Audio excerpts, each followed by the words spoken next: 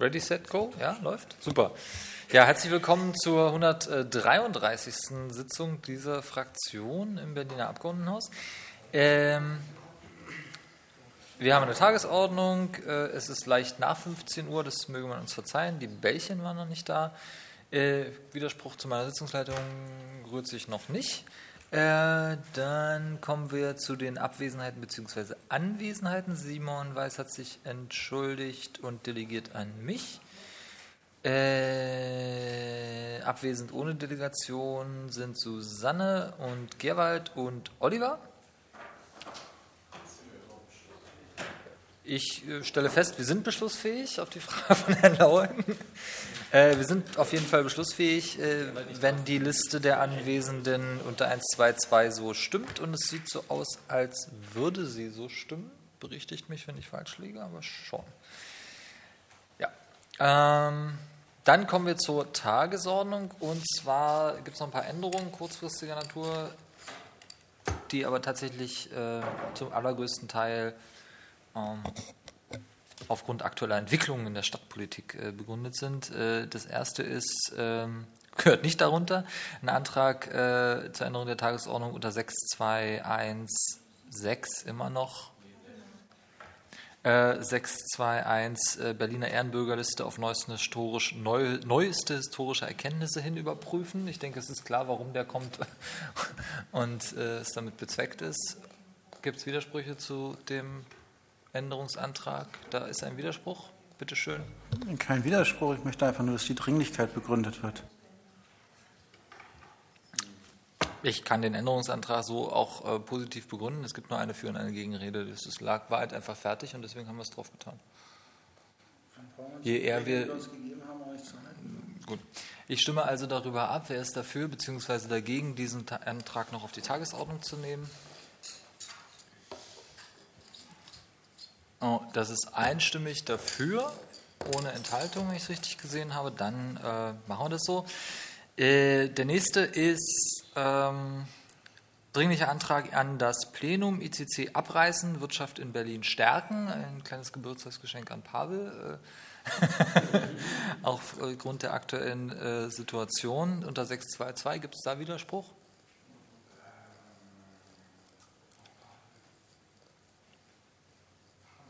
Es gibt, ich merke keinen Widerspruch zum Einfügen dieses Tagesordnungspunktes. Dann verfahren wir so. Äh, dann haben wir noch einen unter 623 und zwar dringlicher Antrag ans Plenum Versprechen einhalten, Mittel aus der Citytex freigeben. Da ist noch ganz ein bisschen unklar, ob das jetzt irgendwie Finanzen oder Kultur ist, aber wir haben erstmal Heiko äh, reingeschrieben. Gibt es da, einen Widers gibt's da Widerspruch? Ha? Müssen wir den jetzt noch dringlich machen eigentlich? Ja, hatten wir besprochen. Ja, äh, nicht dringlich macht keinen Sinn bei dem Antrag. Ähm, Gut, da gibt es auch keinen Widerspruch, dann verfahren wir so. Dann haben wir Ankündigungen und Ansagen haben wir nicht. Äh, Finanzen werden nachgetragen. Äh, das Protokoll der letzten Sitzung liegt vor. Und gibt es Anmerkungen?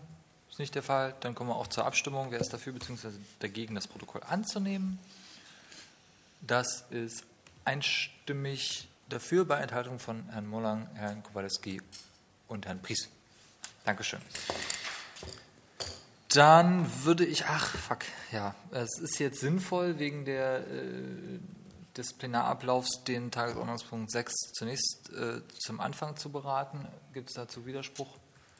Ist nicht der Fall, dann machen wir jetzt Tagesordnungspunkt 6. Sobald ich gescrollt habe, sage ich euch auch, welche Zeile das ist.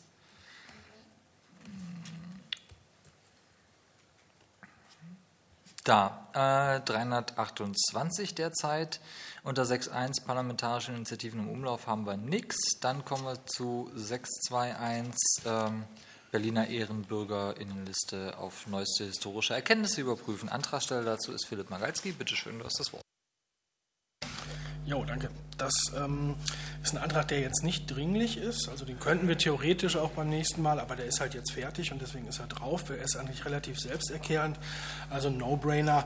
Und zwar habt ihr ja den Streit mitbekommen zu Hindenburg und ähm, jetzt wäre es sozusagen an der Zeit, ähm, die ganze Liste einfach mal durchzugucken und wirklich aber auch eben wissenschaftlich von Historikern auf die neuesten Erkenntnisse hin zu überprüfen, um zu schauen, wer ist denn da eigentlich noch drauf und wer könnte ähm, ja überhaupt nicht eigentlich nach den neuesten Erkenntnissen das Recht besitzen, da drauf zu sein oder wen wollen wir da überhaupt nicht drauf haben.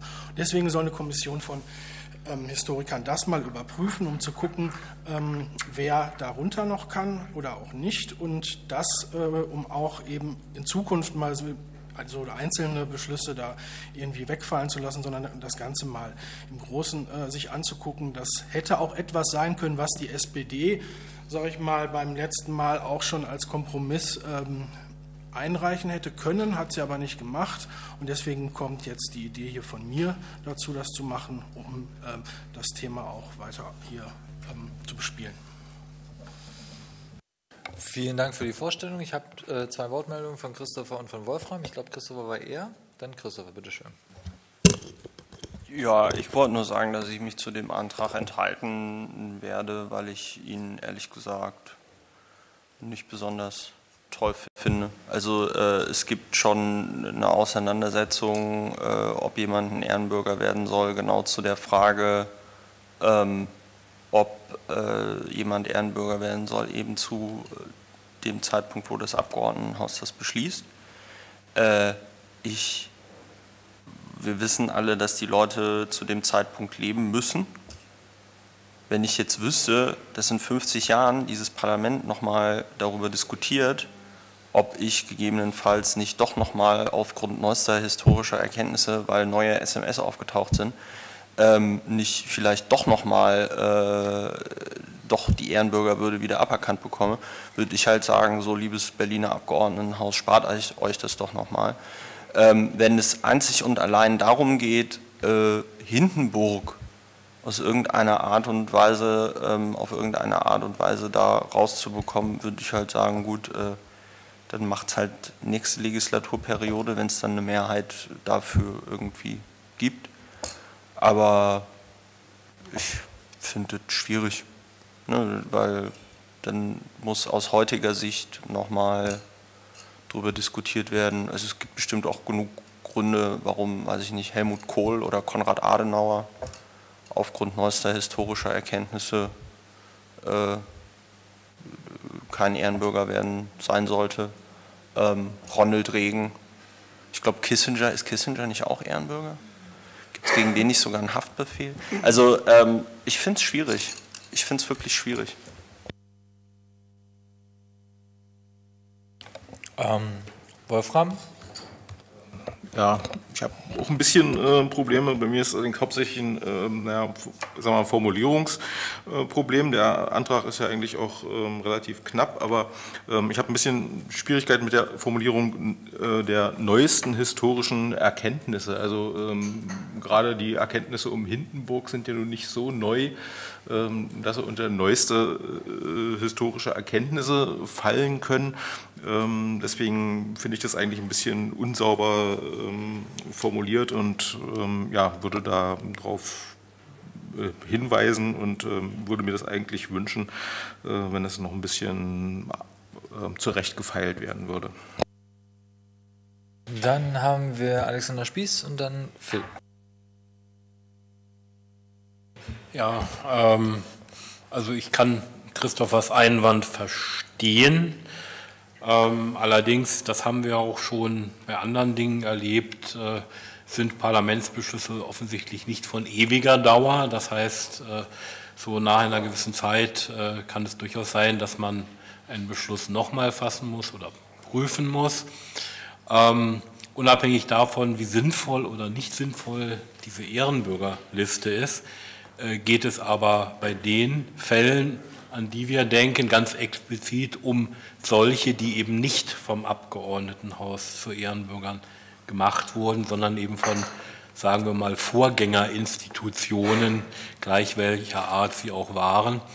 Und äh, da gab es ja auch schon äh, die Fälle, dass Ehrenbürger, die eben vom Ostberliner Magistrat zu Ehrenbürgern gemacht worden sind, äh, also dann einfach runtergenommen worden sind aus nachvollziehbaren Gründen. Aber zum Beispiel bei dem General Basarin war das ja dann offensichtlich etwas übertrieben. Das heißt, er wurde ja dann wieder zurückgeholt.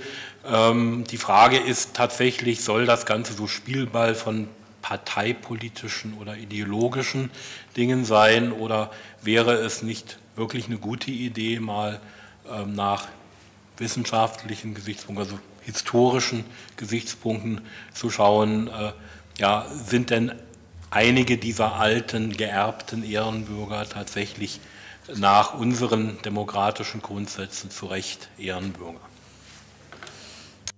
Phil? Ja, deshalb ja auch ähm, an Wolfram auch nochmal neueste Erkenntnisse bedeutet, dass es eben auch in der Geschichtswissenschaft in den letzten Jahren Erkenntnisse gab, die eben damals, also oder die auch noch vor Jahrzehnten äh, nicht äh, uns zur Kenntnis gelangt sind. Und das heißt, wenn wir neue Informationen haben aus ähm, Quellen, die jetzt erst aufgetan worden sind oder die jetzt auch erst erforscht worden sind, dann sollen die natürlich mit einfließen in diese Bewertung. Und das können wir nur erreichen, wenn jetzt das Ganze auch nochmal ähm, überprüft wird.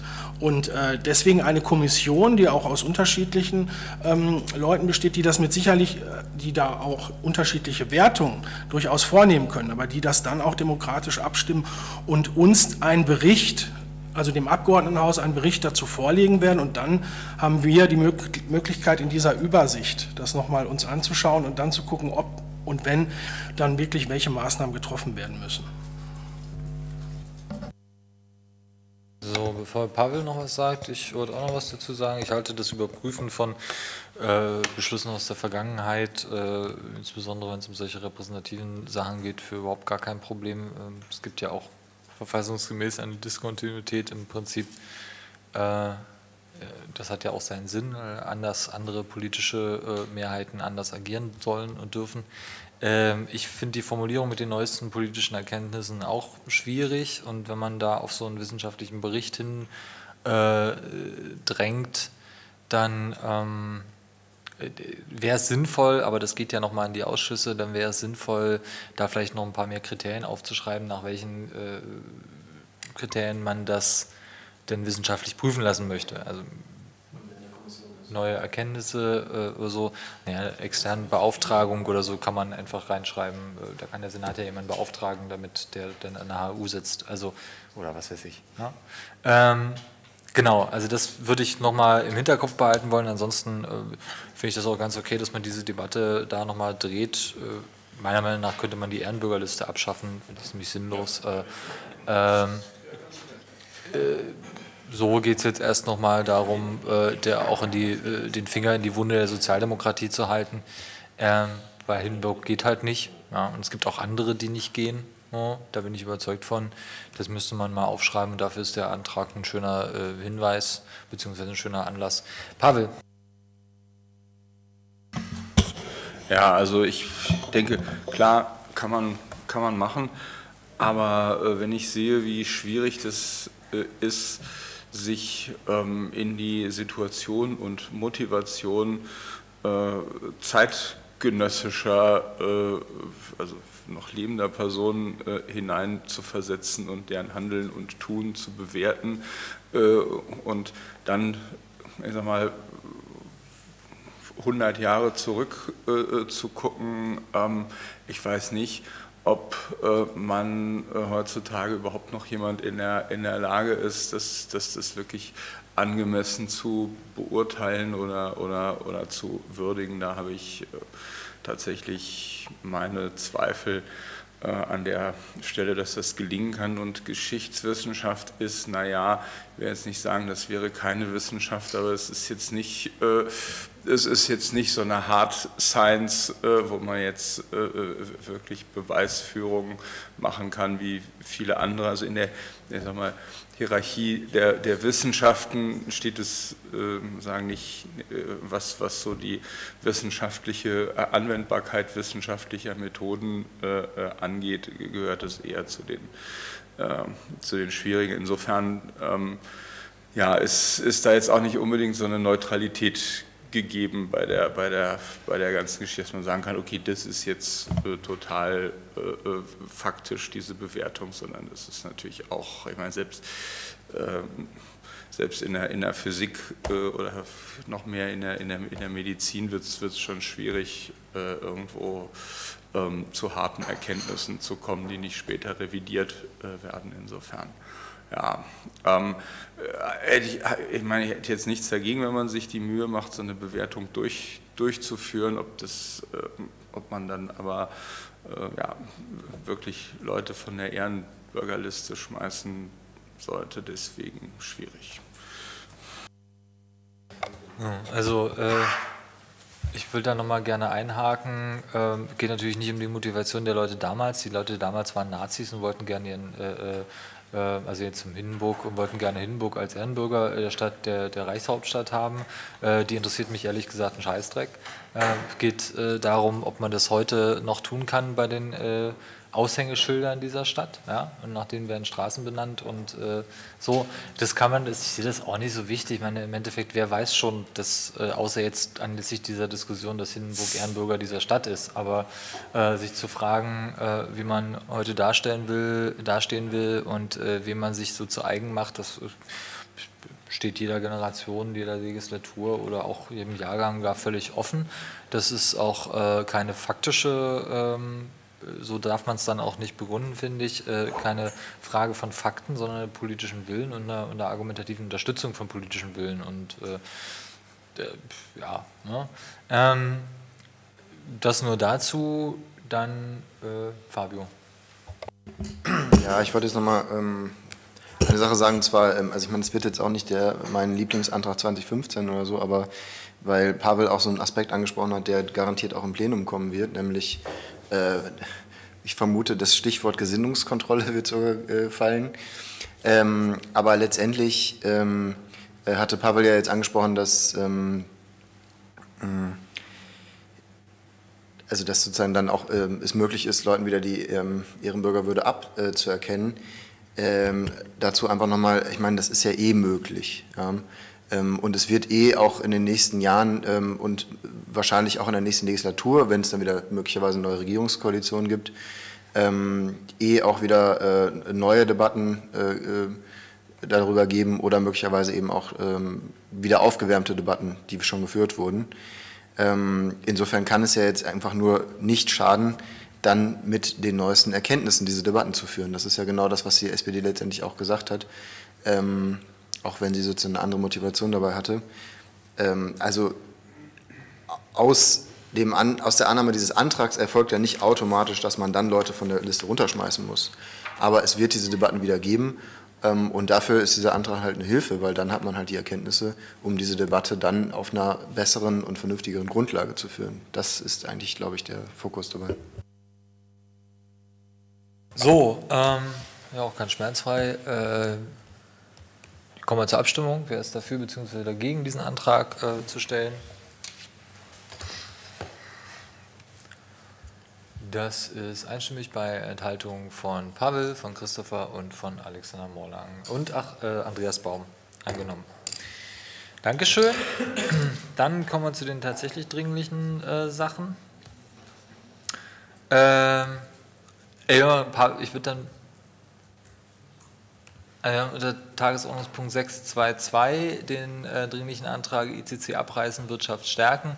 Und ihr seht, der ist relativ äh, kurz, der ist auf, äh, also kann man ehrlich sein, äh, durch zwei Gründe motiviert. Erstens, weil gerade mal wieder die Diskussion ist, die wir schon mit unserem ersten Antrag äh, zum ECC im letzten Jahr äh, aufgemacht haben, zu versuchen aufzumachen, welche der schlechten Alternativen denn da jetzt genommen wird. Und jetzt ist hier von Gefälligkeitsgutachten die Rede. Das heißt, es ist aktuell in aller Munde. Ähm, zweitens, wir sind meiner Meinung nach äh, nach unserem ersten Aufschlag, der auch recht erfolgreich war, äh, dazu aufgerufen, uns jetzt nochmal dazu zu äußern, äh, auch deutlicher, ähm, als es bisher der Fall war. Die Frage stand im Raum, also das war die erste, jetzt trefft man eine Entscheidung, das ist ja das, was irgendwie auch alle wollen, das kann ja nicht so weitergehen. Ähm, Und muss man aber auch sagen, was man will. Und ich hatte äh, aus der letzten Diskussion herausgehört, dass uns das äh, auch nicht nur aus finanziellen Gesichtspunkten, sondern einfach um mal Ruhe in der Kiste zu haben, das mit dem Abreißen äh, ganz wohl äh, zu Gesicht steht. Hier ist jetzt noch was anderes drin und zwar ähm, nicht nur ECC abreißen, sondern auch noch gleich die Forderung nach äh, einem äh, Plan zur Förderung von Kon Kongressflächen. Ähm, das ist so ein bisschen Catch-22. Ich habe gerade gehört, wenn wir das sowas zur Priorität machen sollten, äh, Rückmeldung aus der ähm, vom, vom RBB, wenn wir es zur Priorität machen, dann gibt es auch wieder eine RBB-Rederunde, wo sich alle mal über das ECC streiten können, was meiner Meinung nach super ist. ähm, und äh, Heiko hat jetzt gerade noch äh, zurückgemeldet, dass es dann sein kann, dass sie es auch sofort abstimmen. Ja, also das wäre dann zumindest mal ein Statement. Ja, wer ist denn jetzt dafür, äh, auf Teufel komm raus, da noch 100 Millionen reinzustecken oder eben nicht?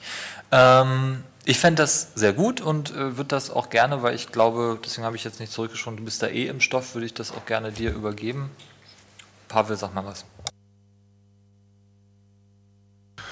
Okay, ja, ich denke, wir, wir, wir können das machen und fordern tatsächlich äh, an der Stelle. Ich meine, es gab, gibt noch die andere Option, einmotten. Ähm, so. Hm? Ja. ja, ja, ja.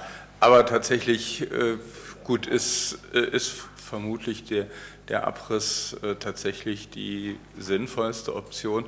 Wenn es jetzt äh, um die Frage, es wird natürlich wieder um die Frage gehen, wieso ist das Ganze jetzt äh, dringlich äh, so? Und da kann man sagen, aufgrund äh, der gestrigen äh, Sitzung des Wirtschaftsausschusses, wo nämlich nochmal verschiedene Dinge zutage getreten sind. Erstens, äh, so ist es jetzt wohl klar kein Einkaufszentrum. Da haben sich jetzt verschiedene fest, festgelegt. Es soll also Kongressfläche werden. Es ist gestern nochmal rausgekommen, dass selbst nach einer Modernisierung welcher Art auch immer dieses äh, Teil nicht, ähm, nicht wirtschaftlich betreibbar sein wird als Kongresszentrum. So, no way, das wird eine Dauer, selbst nach der Investition eine, Dauer, äh, eine äh, auf Dauer zu subventionierende Einrichtung werden. Dieses hat sich wohl auch mittlerweile bei unserer Wirtschaftssenatorin diese Erkenntnis durchgesetzt. Das war gestern sehr interessant, weil äh, nämlich der Chef der Messegesellschaft berichtete von einem Auftritt von unserer Wirtschaftssenatorin bei der SPD, also in irgendeinem SPD-Abstimmungszirkel, wo sie genau dieses gesagt hat und sich die SPD furchtbar aufgeregt hat, äh, äh, dass der äh, Chef der Messe das im Ausschuss kolportiert hat, dass die Wirtschaftssenatorin sich dort letzte Woche so geäußert hat. Das heißt, ähm, klar, Problem ist, im Koalitionsvertrag steht drin, ähm, erhalten auf jeden Fall, darf keine Dauersubvention äh, äh werden und, äh, haben Sie noch drin, und 200 Millionen. Das ist sozusagen das, was, was jetzt so Problem ist, ist die Quadratur des Kreises. Es ist klar, das, das geht halt äh, einfach nicht und äh, der, der, der größte Witz ist jetzt, dass es zu, zudem noch unter, unter Denkmalschutz gestellt werden, was natürlich die Sanierung dann nochmal in astronomische äh, Höhen treibt. Also das Ding ist, äh, wie gesagt, komplett komplett festgefahren, die Situation ist äh, also nach den Parametern einfach komplett unlösbar und ähm, sagt, und die Senatorin sprach wohl äh, gegen von, von sagen, Subventionstatbeständen, die geschaffen würden, wenn man das jetzt äh, mit öffentlichen Mitteln äh, als Kongresszentrum und das könnte also sein, dass es allein schon aus äh, ja, äh, ja, EU-wettbewerbsrechtlichen äh, Gründen, wobei die da ver vermutlich, äh, also bei, bei, bei solchen Sachen auch sagen, so stadtrenditemäßig würde sich das äh, wahrscheinlich schon lohnen und rechnen, aber definitiv nicht für die Messe und bei den Kosten, die da auf einen zukommen, äh, da kann man halt, äh, ja, mehrere Citycubes äh, könnte man sich für leisten und das Ding ist wirtschaftlich betreibbar. Und wir haben sowieso das Problem, ist gestern auch nochmal rausgekommen, dass äh, spätestens wohl 2018 tatsächlich äh, das Kongressgeschäft äh, auf einem, einer Ebene sein wird, dass spätestens dann ein sagen, wir eigentlich einen zweiten Citycube äh, oder die Kongressfläche bräuchten. Jetzt ist, die, äh, ist es vermutlich ziemlich ausgeschlossen, dass eine Sanierung bis 2018 äh, wirklich machbar und durchführbar wäre. Insofern muss ohnehin noch, müsste zusätzlich zur Sanierung ohnehin noch investiert werden in alternative Kongressflächen, also sprich CityCube 2. So, das heißt, äh, wir, wo, wobei äh, dann auch die Aussage war, okay, wenn denn das irgendwann mal fertig würde, würde man sicherlich auch noch vollkriegen mit Kongressen, nur kamen dann auch nochmal Zahlen auf den Tisch. Äh, die Messegesellschaft hat 150 Millionen in den letzten zehn Jahren in das ICC gesteckt und ungefähr die, die Hälfte dieses Betrages an Umsatz, glaube ich, oder, oder Deckungsbeitrag äh, erzielt. Das heißt, es ist halt ein, ein richtig schönes äh, Dauer-Minus-Geschäft und ich hatte dann gestern im Ausschuss auch nochmal den sarazinschen Vorschlag vom Eichenwald äh, dort in die Runde äh, geworfen, neben anderen Dingen. Aber ja, okay, lass uns den Abriss fordern, das ist dann äh, wenigstens äh, eine, eine, ganz klare Position und ist auch, wie gesagt, Aktualität ist begründet in, ähm, in den äh, ja, Aussagen der letzten Tage, die da gefallen sind und äh, man auch sagen, jeder einzelne Tag, an dem nicht mit dem Abriss begonnen worden ist, belastet äh, einfach unseren, unseren Etat und jetzt irgendwann muss auch mal Schluss sein. Ja. Äh, Wolfram hat dazu eine Wortmeldung. Ja, ähm, weil wir gerade letztens in der Sprecherrunde im Bauverkehrsausschuss ähm, den anderen Antrag ähm, beinahe auf die Tagesordnung gehievt hätten. Dann ist es aber aufgrund der ähm, anderen Tagesordnungspunkte und der Größe ähm, dann doch ähm, noch nicht besprochen worden. Meine Frage, ähm, wie gehen wir dann eigentlich mit dem anderen ähm, harmloseren ähm, Antrag um, den wir ja schon gestellt haben und der, also, äh, insbesondere wenn der jetzt sofort abgelehnt werden sollte, falls es zu einer Sofortabstimmung kommt, dann können wir den ja kaum noch so richtig ernsthaft äh, verteidigen, beziehungsweise die Verteidigung wäre dann äh, eine ganz andere Strategie dazu zu verfolgen. Ähm, zum Thema ähm, Dringlichkeit ähm, ist natürlich auch ein bisschen eine interessante Sache, dass wir dringlich einen Antrag stellen, wo der Denkmalschutz äh, gerade geprüft wird und sozusagen dann den Antrag schnell äh, durchkriegen, bevor der Denkmalschutz da irgendwie äh, ähm, zu Ende geprüft ist ähm, und das ähm, dann das Abrissverfahren noch mal äh, schwieriger geworden ist. Aber ich habe es ja auch schon mal auf Twitter irgendwie vermeldet. Äh, der Denkmalschutz ist ja kein Schutz davor, dass ein Gebäude abgerissen wurde. Äh, mit dem Ahornblatt zum Beispiel ähm, ist es ja durchaus auch so passiert, dass es ähm, war auch Denkmal, stand auch unter Denkmalschutz und ist trotzdem ähm, abgerissen worden und durch ein eine Blockrandbebauung, einen hässlichen Kasten ersetzt worden.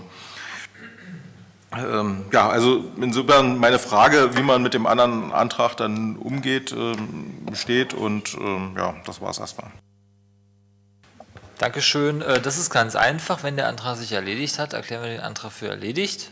Äh, wenn jetzt die Koalition sagt, ach upsi, wir reißen doch ab und stimmen den Antrag sofort ab, ähm, dann hat sich der ursprüngliche Antrag natürlich erledigt. Dann braucht man nicht mehr alle Optionen auf den Tisch legen, so wie der äh, andere Antrag hieß, sondern hat schon die Optionen. Wenn das nicht der Fall ist und das abgelehnt wird, dann ist der Antrag natürlich weiterhin gültig und konsistent. Und wie du deine Argumentation dann anpasst, überlasse ich dir als Fachpolitiker natürlich gerne, das ist gar kein Problem. Ähm, das, nee, das ist einfach falsch, das liegt auch nur an dir. ähm, die, die Frage, die Frage äh, um das nochmal hinzuzufügen, äh, die Frage, ob man als Fachpolitiker in einem Ausschuss äh, ernst genommen wird, liegt äh, hauptsächlich an dem äh, eigenen Auftreten und wie man sich verkauft. Ähm, nicht daran, ob wir jetzt den Abriss des ICC fordern oder nicht. Es ist ja auch nicht dein Antrag. Insofern durch dich deine Ängste da. Ich verstehe deine Ängste, aber Kann dir auch nicht helfen. Ähm, ja, gibt es weitere Wortmeldungen? Ach du, die bleibt noch. Okay, gut, ich dachte, ja, bitteschön. Ja, wollte nur sagen, die, die, unser anderer Antrag fordert ja auch, wenn ich es richtig im Kopf habe, äh, die Kosten äh, zu ermitteln und auf den Tisch zu legen. Und natürlich ist es äh, sinnvoll, das bleibt in jedem Fall sinnvoll, das, das, das zu tun, damit man auch vor allen Dingen feststellen kann, irgendwie ist Kostenüberschreitung oder nicht. Da, dazu kommt, kommt ja auch, dass sich nach unserem Antrag ja auch diverse Leute geäußert haben, äh, die Zahlen in den Raum geworfen haben, äh, was das Ganze jetzt, äh, jetzt kostet. Insofern, also ich, ich, ich sehe da, wie gesagt, kein Problem. Plus, dass man natürlich sagen kann, ja, das ist jetzt nicht, nichts Ungewöhnliches, dass Anträge von den Ereignissen vielleicht teilweise überholt werden. Das ist bei dem, mag bei dem Antrag der Fall sein, aber es ist halt nicht vollständig obsolet äh, geworden. Und das kann man halt auch mit einem Änderungsantrag gegebenenfalls äh, ja, dann noch heilen, indem man, was weiß ich, die Stilllegung streicht oder wie auch, wie auch immer. Also ich, ich sehe da jetzt nicht das, das große Dilemma und würde jetzt auch nicht sagen, wir müssen ihn deswegen komplett zurückziehen, den, den Antrag. Nee, ich halte das auch für ganz normales politisches äh, Geschäft, das sowas zu verargumentieren. Das ist ja nicht so, als würde der äh, neue Antrag jetzt vom Reiterem, aus heiterem Himmel kommen. Ähm, weitere Wortmeldungen liegen mir jetzt nicht vor. Dann kommen wir zur Abstimmung. Wer ist dafür, den einzubringen?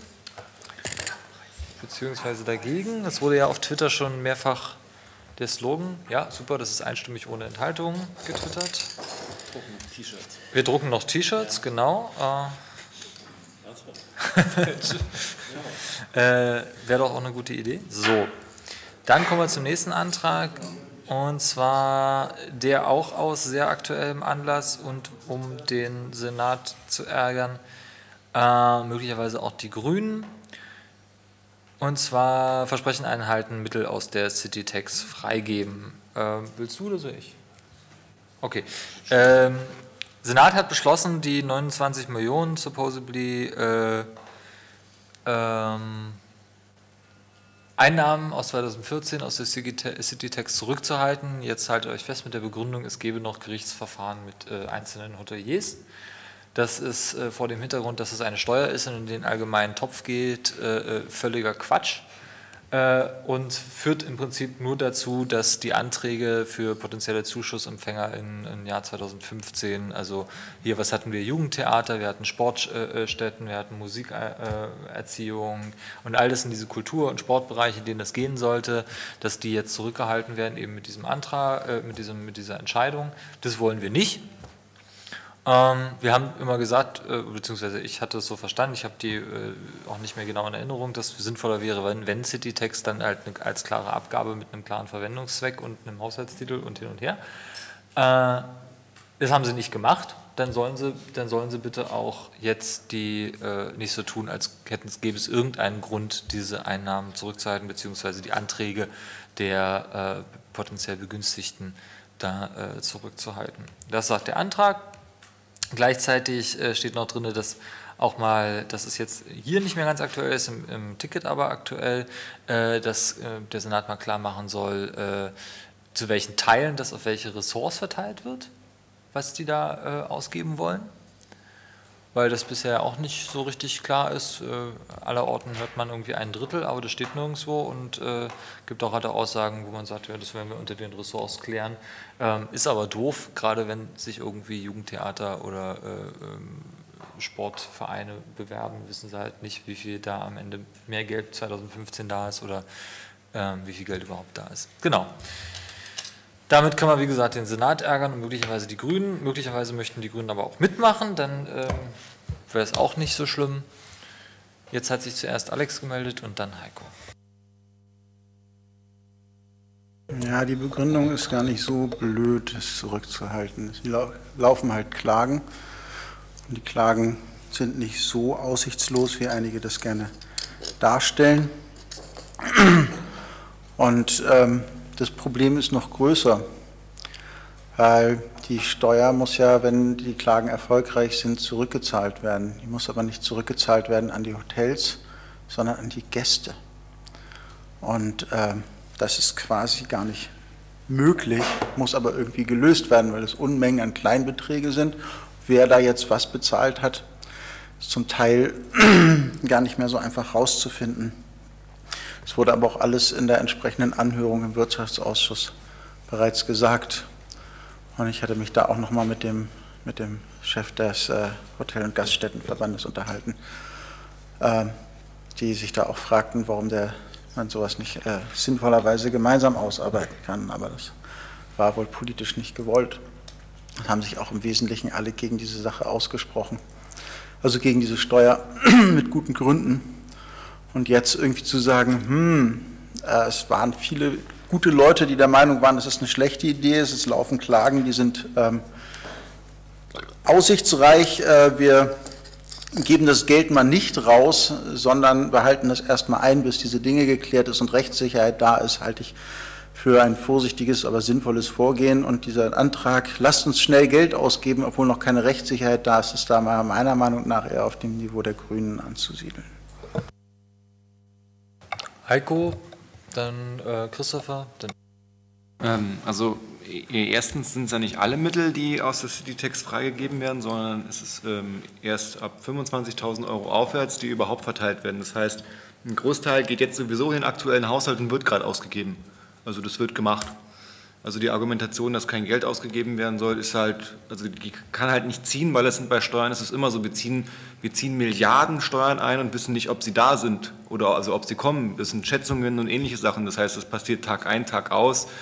Äh, wir planen äh, Einnahmen aus Ordnungswidrigkeiten vom Falschparken, was man, wo sich das ändern kann. Also das ist ganz normal. Das ist, die Citytax geht ganz normal in den Haushalt mit ein, wie jede anderen Steuern auch. Äh, und wenn es da zu einer Zurückzahlung kommt, ist der politische Wille ja nicht weg. Das ist nämlich die Verknüpfen, die, die, die, die, die Rechtssicherheit einer Steuer mit dem politischen Willen etwas äh, äh, umzusetzen, nämlich äh, nicht wegzumachen. Äh, es ist nämlich zum Beispiel auch so, dass bestimmte Investitionen im Sport, im Tourismus äh, und im Wirtschaftsbereich nicht in den, in den Einzelplänen, in den Haushaltsberatungen eingeplant worden sind, weil da kommt der City-Tax. Also quasi das, also beziehungsweise davon ist dann, also das, die City-Tax wird ja dafür dann benutzt. Das hat man quasi gegengerechnet. Und wenn man jetzt das dann einfach nicht macht, ähm, fehlen am Ende diese Beträge auch äh, äh, bei den Projekten. Außerdem ist es halt auch, also auch ein Gericht zum Beispiel nimmt etwas zur Kenntnis, wenn es dafür eingesetzt, werden, äh, äh eingesetzt wird, wofür es auch beschlossen worden ist. Also die Argumentationsgrundlage, warum es diese Steuer gibt, die ist schon wichtig. Also, also, Steuern zum Beispiel sind nicht einfach nur äh, auf, dem, auf dem Blanko Papier und dann, sondern auch quasi der, der politische Wille, warum es eingeführt wurde und die Verwendung dahinter ist halt auch äh, relevant. Und wenn wir halt quasi ähm, auch jetzt dafür sorgen, dass es halt quasi im Tourismusbereich oder im Wirtschaftsbereich äh, oder im sportlichen Bereich jetzt auch wieder eingesetzt wird, dieses Geld, und auch wir quasi den, den politischen Willen, der artikuliert wurde, auch einfach durchhalten, hat das halt auch äh, für Gerichtsverfahren definitiv einen Impact äh, und steigert definitiv die Chancen ähm, äh, vor Gericht. Man muss halt auch ehrlicherweise sagen, äh, die City-Tax ist in so vielen Städten mittlerweile bis zum Erbrechen durchgeklagt. Das ist halt einfach nur noch eine Hinhaltetaktik. Ähm, und ähm, es, es, hat keinen Einbruch und sonst was, also es hat keine negativen Auswirkungen auf den Hotel. Das äh, es ist, hat, ist nichts passiert. Also von, von irgendwie, wo gesagt wurde, dass die ganzen Schulklassen und was ich was alles, da kommt keiner mehr und äh, ähm, also da, da waren ja die größten Schauergestellten. Es ist nichts passiert und es wird dadurch auch nichts passieren, weil es interessiert, ob man jetzt diesen Aufschlag von 5% bezahlt, das interessiert niemanden, äh, weil das die meisten Leute sowieso immer gewohnt sind, wenn sie im Sommer irgendwie an die Küste oder was ich wo fahren, weil die Kurtaxe oder ich fahre in die Schweiz oder nach Österreich, zahlt man sowieso überall. Also es, es gibt kaum noch Orte, die irgendwie touristisch in, äh, äh, attraktiv sind, wo man das nicht bezahlt. Ähm, also das das ist total Standard. Und die einzige, also die, die Verknüpfung vom Nichtausgeben mit der Steuer zieht halt nicht, weil die Steuer direkt in den Haushalt fließt. Christopher. Ja, die City Tax. Ähm, einige Anmerkungen. Lieber Alexander, vielleicht solltest du deine Freunde äh, oder Bekannten oder die Leute, mit denen du da geredet hast, also diese Hotelmenschen, ähm, darauf hinweisen, dass nicht die übernachtenden Personen Steuerschuldner sind, sondern nach dem City-Tax-Gesetz die Hoteliers. Die Hotels sind die Steuerschuldner und äh, es ist deswegen eine etwas bizarre Konstruktion. Also es ist eigentlich eine Krücke, weil was man eigentlich will, ist ja sowas wie eine Kurtaxe oder eine Abgabe, die sich daraus generiert, dass Berlin halt eben so attraktiv ist, im Jahr 10 Millionen Menschen plus X anzieht, die unsere Infrastruktur runterrocken, wir aus der Mehrwertsteuer bzw. Umsatzsteuer nichts bekommen. Ja, und äh, also äh, Berlin nur sehr indirekt an dem Umsatz, den diese Menschen hier machen, ähm, teilhaben, weil die Hotels uns ja leider auch nicht gehören. So. Das heißt, für den Fall, dass die ähm, äh, vor Gericht Erfolg hätten mit ihrer Klage, bekämen sie diese City-Tax zurück und hätten dann also, ähm, wären im Grunde genommen die Leidtragenden die Bürger doppelt, weil sie bezahlen mehr für ihren Aufenthalt im Hotel, weil die Hoteliers ja so menschlich sind und es dann direkt an die Kunden weitergeben und äh, gleichzeitig äh, äh, fehlen dem Land natürlich auch Steuern. Was mir nochmal wichtig wäre, und das fände ich ganz gut, wenn man das prüfen könnte, ob man nicht einfach gegen das Land Berlin klagt, weil das, was die dort machen, ist meiner Meinung nach nicht möglich, weil man kann nicht, ähm, weil irgendeine Steuer angegriffen wird, den beschlossenen Haushalt nicht ausführen. Das ist ja sowas wie äh, Untätigkeit auf Ansage. Ja? Also wenn jetzt ähm, andere Steuereinnahmen nicht so hoch sind, wie erwartet, sagt man ja auch nicht sofort, oh, wir, wir, wir äh, sperren aber jetzt im beschlossenen Haushalt schon Titel so und so und so und so, weil wir der Meinung sind, dass. Ähm, das ist ein irgendwie sehr bizarres Manöver und ähm, das wäre vielleicht ganz gut, wenn man dann zum Plenum hin, damit man da auch argumentativ nochmal Munition hat, einfach die Frage klärt, inwieweit man ähm, äh, gegen das Land Berlin dann klagen kann als Abgeordnetenhaus, äh, weil es eben ankündigt, beschlossene Haushalte äh, nicht umzusetzen. Ja. Ähm, ansonsten ja, ist es halt einfach bizarr. Also ich wüsste auch nicht, auf welcher Rechtsgrundlage die jetzt sagen, wir rufen hier eine Haushaltssperre aus. Jetzt hole ich noch mal weiter auf. Aus, das ganz große Problem mit der City-Tax ist ja, und das hat ja Wowereit damals noch sehr intelligent gemacht, dass sich alle haben davon so verarschen lassen. Ja, also Berlin hat mehr Steuereinnahmen an allen Ecken und Enden, weil äh, Wirtschaft wächst und so weiter und so fort. Und statt aus sich heraus zu begründen, also die gesamte Kulturlandschaft, das kann ich jetzt auch sagen, weil ich zum Glück nicht mehr kulturpolitischer Sprecher bin, aber die Kulturlandschaft, statt aus sich heraus zu begründen, warum sie jetzt mehr Geld aus den gestiegenen Steuereinnahmen bekommen sollte, haben sie halt alle total gierig auf diese City-Tax geguckt, bis hin zu Jochen Sandig mit seiner Radialsystem GmbH, äh, der ja total freie Szene ist, ähm, weil er ja auch ein extrem hohes Risiko mit dieser GmbH und ihrer 25.000 Euro Einlage, ähm, also das ist extrem. Ja? Extrem freie Szene, extrem hohes Risiko für den armen Mann und ähm, da ist es natürlich wichtig, dass die äh, Hotels äh, dem da was bezahlen. Also diese ganze Konstruktion ist halt einfach Quatsch. Diese Zweckbindung ist auch Quatsch. Und noch größerer Quatsch ist es jetzt äh, zu sagen, wir picken uns wahllos Titel aus dem Haushalt raus, von denen wir der Meinung sind, wir könnten sie mit irgendeiner Steuer verknüpfen.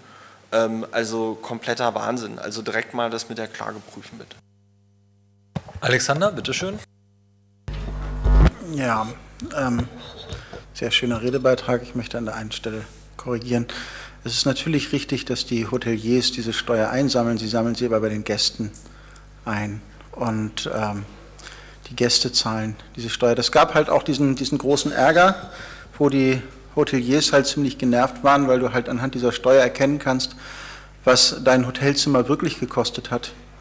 Ähm, und äh, die meisten Leute deutlich mehr beim Zwischenhändler für ihr Hotelzimmer bezahlen, als der beim Hotel bezahlt, sodass sie dann anhand dieser Rechnung erkennen konnten, wie viel der Zwischenhändler für dieses Hotelzimmer gezahlt hat. Auf die Art und Weise ist eine ganze Menge ungewollte Transparenz entstanden.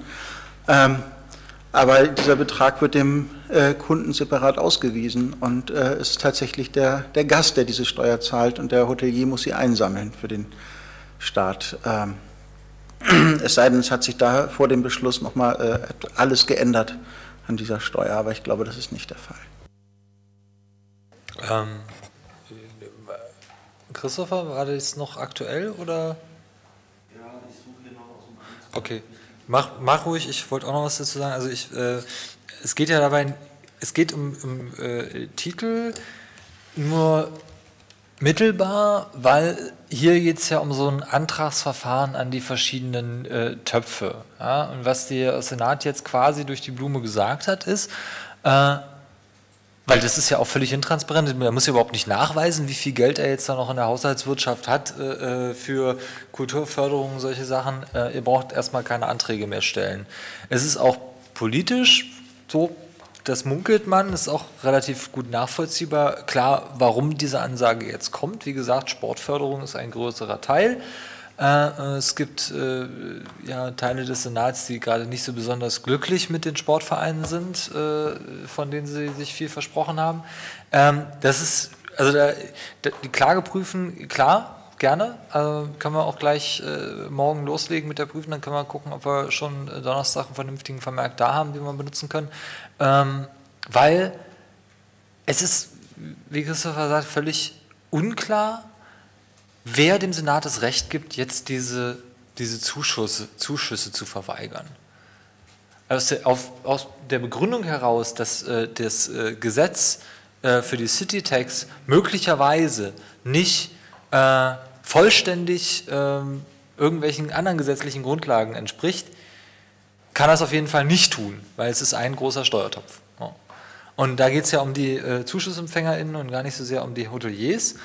Ähm, dass es weitergereicht wird, ist richtig, aber äh, Christopher hat, wenn ich mich richtig erinnere, auch den, äh, den richtigen Begriff benutzt, nämlich äh, Steuerschuld liegt bei den Hoteliers, weil äh, da hat man sich ja aus gutem Grund dagegen entschieden, eben die Steuerschuld bei den, äh, bei den Besucherinnen zu suchen, weil dann hätte man nämlich deren Daten zentral sammeln müssen, damit man sie im Zweifel dann auch noch äh, zur, zum Kasso äh, oder vom Finanzamt benachrichtigen kann, weil sie steuerschuldig geworden sind.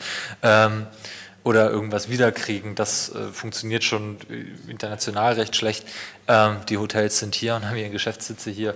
Insofern äh, war das einfach der, der Weg, dass das weitergereicht wird, ist äh, völlig richtig.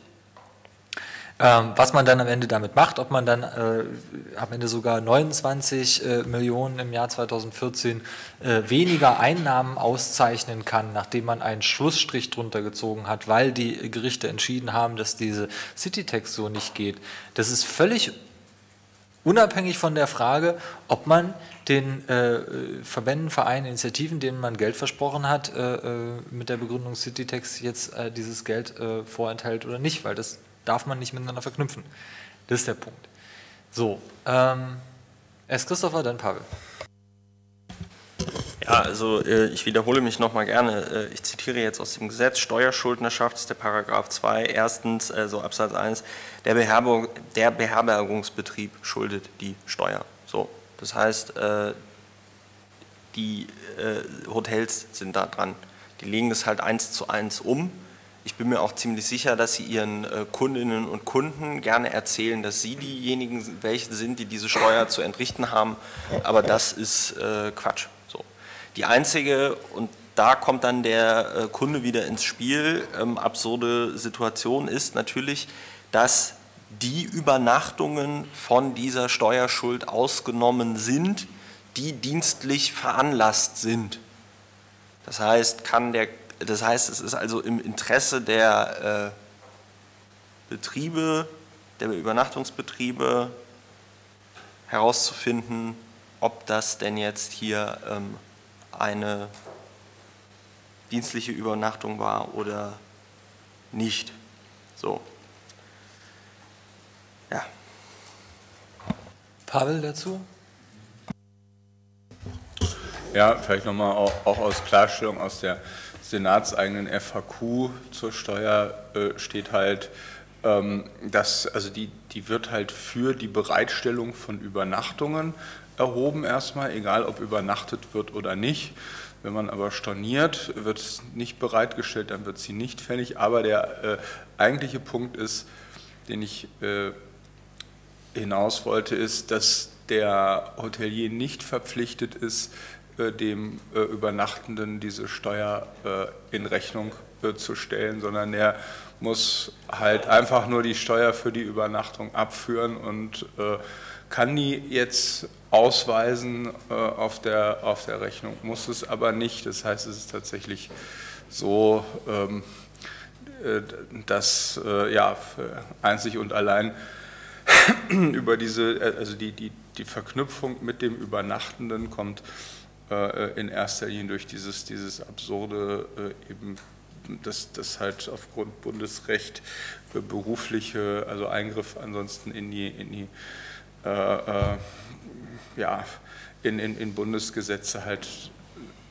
Dienstreisende bzw. beruflich veranlasste Übernachtungen halt nicht besteuert äh, werden dürfen. Aber gut, aber unabhängig davon, was mich interessieren würde, noch, äh, wie, was weiß jemand, was da konkret jetzt im Haushalt eigentlich drinsteht, wie das, wie, wie da, äh, also was da eingestellt wurde oder nicht eingestellt wurde, oder gibt es da einen, einen, einen, Vorbehalt? Also mir ist nicht, nicht klar, wie, wie äh, müsste das jetzt eingestellt, also welche, welche rechtliche Basis hat jetzt diese Zusage, dieses Geld entsprechend zu verwenden? Wenden. Also es ist, war das eine unverbindliche Absichtserklärung eines früheren Senats, der nicht mehr im Amt äh, ist? War das irgendwie, keine Ahnung, politische Propaganda, äh, äh, Begleitmusik bei der Einführung oder ja?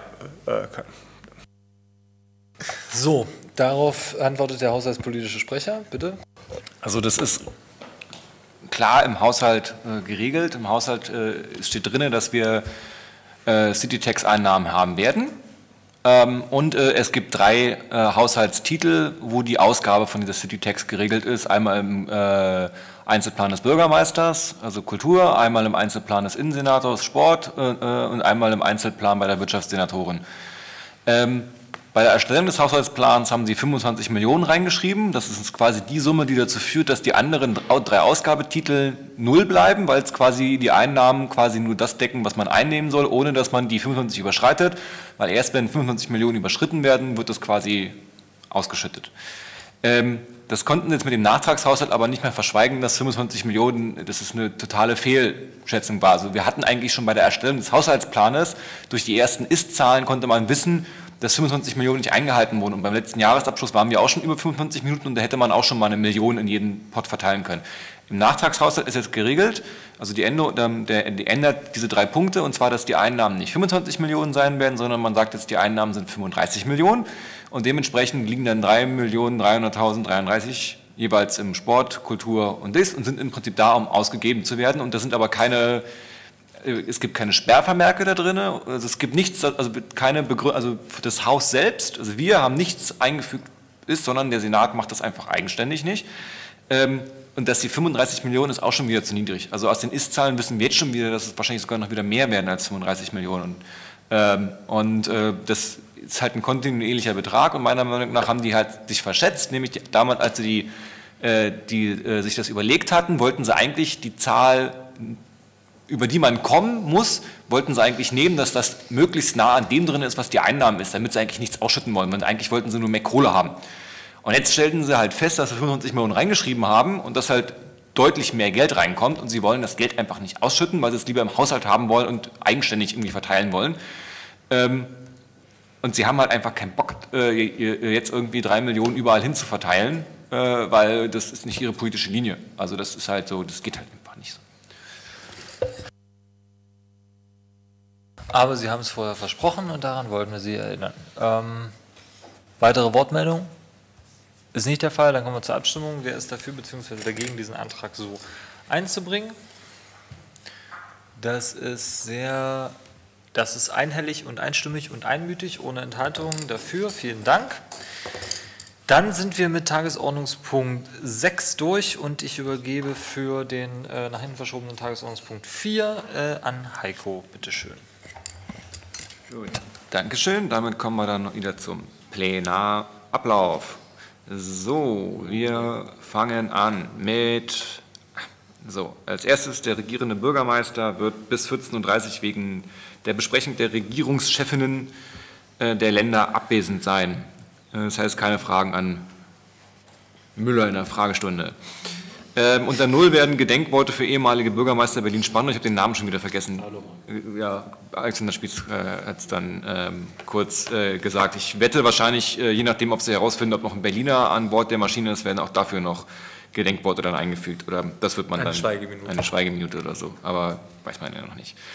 Äh, So, Tagesordnungspunkt 1, die Aktuelle Stunde. Tada, es ist äh, nicht äh, 100 Tage Müller. Wäre auch echt komisch gewesen, wenn die SPD und CDU es jetzt doch noch genommen hätten und der Müller ist gar nicht da. Äh, Es wird die Jugendberufsagentur und äh, der Herr Spieß wird reden. So, zwei Fragestunde. Gibt es denn schon Leute, die Fragen stellen wollen? Wie immer an, Phil, willst du noch deine Frage Ja, stellen? ja, ich will auch noch dann einfach wie immer an Martin einfach schicken und dann ist das. Wie ist die Frage? Ja, ausformuliert diesmal. Ja, schick mal, ich bin, ich bin gespannt. Geil. So, Prioritäten. Äh, 3.1, die Priorität der SPD wird die dringliche Beschlussempfehlung aus dem Hauptausschuss sein, und zwar zur Gesetz zur Änderung des Vorschriften über die Professorenbesoldung in der Besoldungsordnung W für das Land Berlin. Ja, Echt jetzt? ja. Sie wollen verkünden, es gibt mehr Geld. Die gibt's ja nicht. Ja, aber Sie wollen verkünden, dass es mehr Geld gibt. Herr Delius, Wann? Das ist die erste Priorität? Nee. das ist die erste Priorität. Ja, es ist einstimmig im Wissenschaftsausschuss beschlossen ja, worden. ich wette, ich mache drei Minuten oder so. Ja. Okay. Martin redet. Priorität der CDU äh, offen, gibt wahrscheinlich keine. Äh, Priorität der Grünen wird mit sehr, sehr großer Wahrscheinlichkeit der Top 18. Deutschland braucht ein Einwanderungsgesetz. Berlin muss die Initiative ergreifen haben. Äh, Fabio? Fabio macht's. Die dringliche der äh, äh, Linken wird äh, ein Antrag zum MPD-Verbotsverfahren sein. Ja, äh, wegen des Gerichtsurteils und V-Personen. Genau, warte, ich habe, warte mal 10 Sekunden, er ist doch gerade hier reingekommen.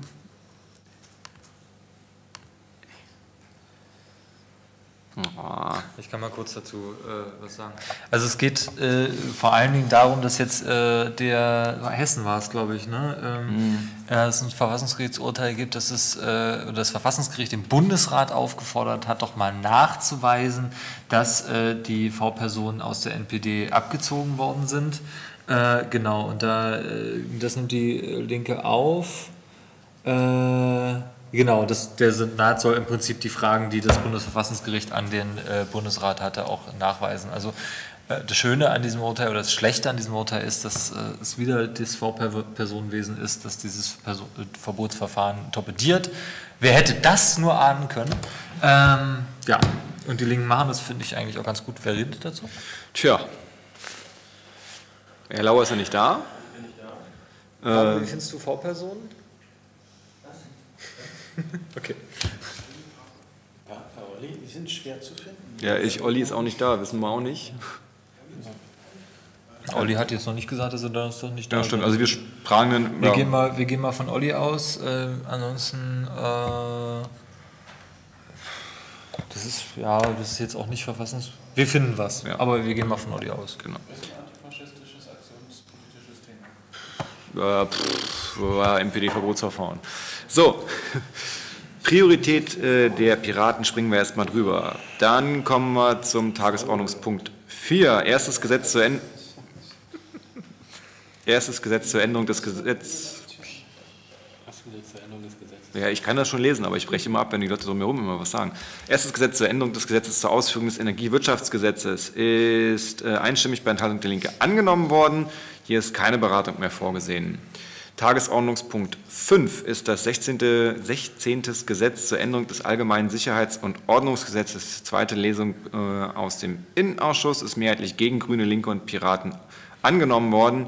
Hier haben die Piraten Beratung angemeldet. Da dürfte dann auch, je nachdem, ob Simon oder Olli, müssen wir dann gucken. Ja, Genau, ist, äh, ist es wie das. es ist schwierig. Alles nicht so schön. Äh, So, dann haben wir den Tagesordnungspunkt 6, inklusives Wahlrecht in Berlin, Diskriminierung von Menschen mit Behinderung beenden von den Grünen. Hier ist keine Beratung mehr vorgesehen. Der Tagesordnungspunkt 7 ist die Einsetzung eines Ausschusses zur Umsetzung von Artikel 13 Absatz 6 Grundgesetz und Paragraph 25 Absatz 10 ASOG. ähm, ist die Beschlussempfehlung aus dem Rechtsausschuss zum Antrag der SPD und der CDU. Der ist mehrheitlich gegen, äh, mehrheitlich gegen Linke und Piraten bei Enthaltung Grüne angenommen worden. Hier ist keine Beratung mehr vorgesehen, aber da findet die Wahl der Mitglieder und der stellvertretenden Mitglieder statt. Die Listen werden dann auch rumgeteilt, wer dann alles da in diesen Ausschuss geht. Von uns geht als äh, äh, volles Mitglied Simon Weiß und als stellvertretendes Mitglied Christopher Lauer hinein. Und Simon Weiß ist dann das stellvertretende Schriftführermännchen. So, Tagesordnungspunkt 8 äh, ist das Leihfahrradsystem in Berlin zum Erfolgsmodell machen. Von den Grünen ist mehrheitlich gegen Grüne und Piraten bei Enthaltung Linke auch mit Änderungen abgelehnt worden. Hier haben die Grünen noch einen Beratungsvorbehalt. Ich gehe mal davon aus, dass Herr Baum zum Leihfahrradsystem mal wieder, also wenn es dann irgendwann mal rankommt, auch reden wird.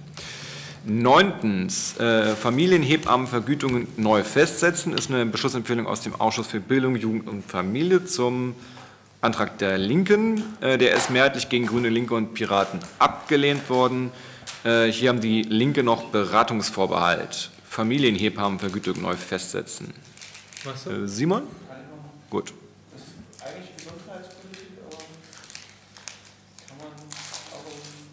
Ja, du hast ja da Erfahrung auch. Aber es kommt ja eh aus dem Bildungsausschuss. Also. Ja. Gut, dann hast du die. Dann haben wir. Oh, das ist halt äh, Beratungsvorbehalt, da kriegen wir noch Meldungen von der Linken, ob es dann auch so bleibt.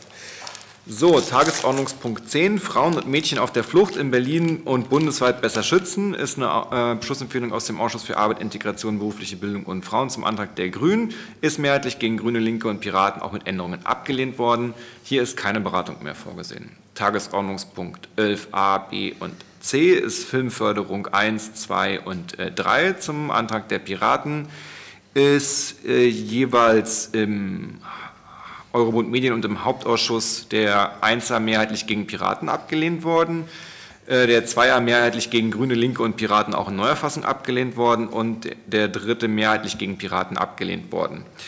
Bei der,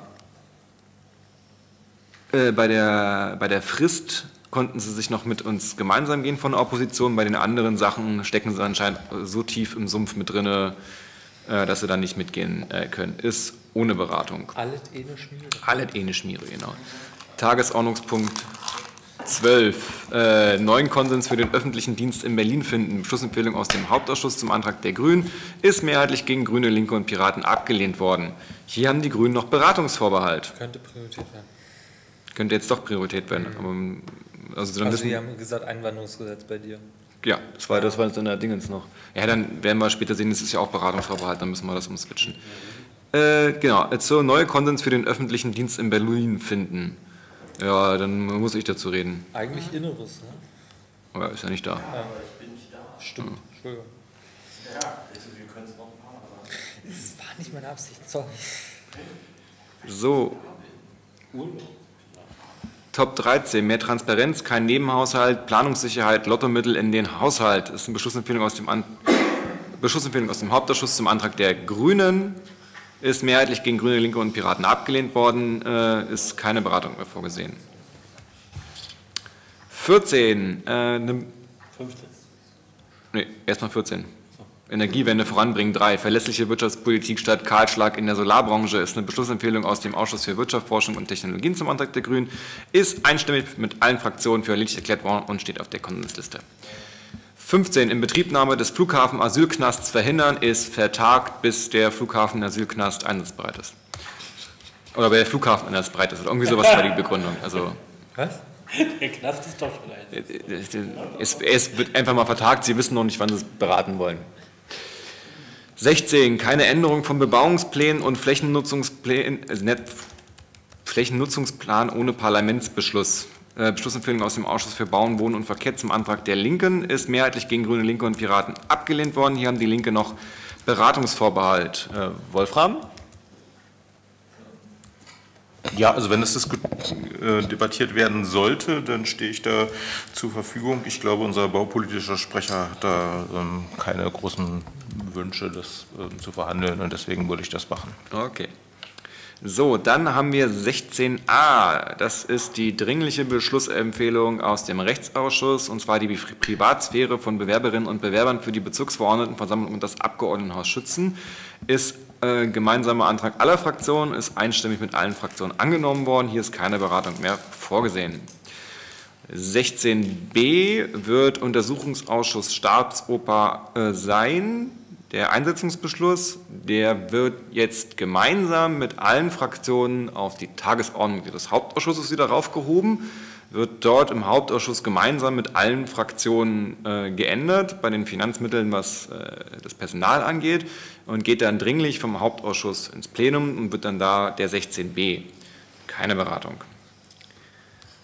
Aber die Staatsoper wird vor den Ferien eingesetzt, hat sich die gemeinsame... möchte nichts sagen. Fertig? Ja, sollte ja eigentlich sollte er auf, nach den Ferien auf den 23. April vertagt werden, was dazu geführt hätte, dass die erste Sitzung, also der, die Einsetzung des Ausschusses äh, wahrscheinlich im Juni gewesen wäre und die erste Sitzung hätte dann nicht mehr stattfinden können, weil dann sind ja schon Ferien und dann hätte es quasi vor den Ferien keine, also hätte nicht mehr, also nicht mal mehr, der, der wäre gar nichts passiert. Also das wäre halt tot gewesen dann durch die gemeinsame Presseerklärung der Opposition, ähm, die von der DPA aufgegriffen worden ist, aber in keiner einzigen Zeitung erschienen ist, aber die Koalition hat sie gelesen, haben sie sich genötigt gefühlt, äh, jetzt einzulenken. Das, schärfste Schwert der Opposition ist äh, die Presseerklärung der DPA.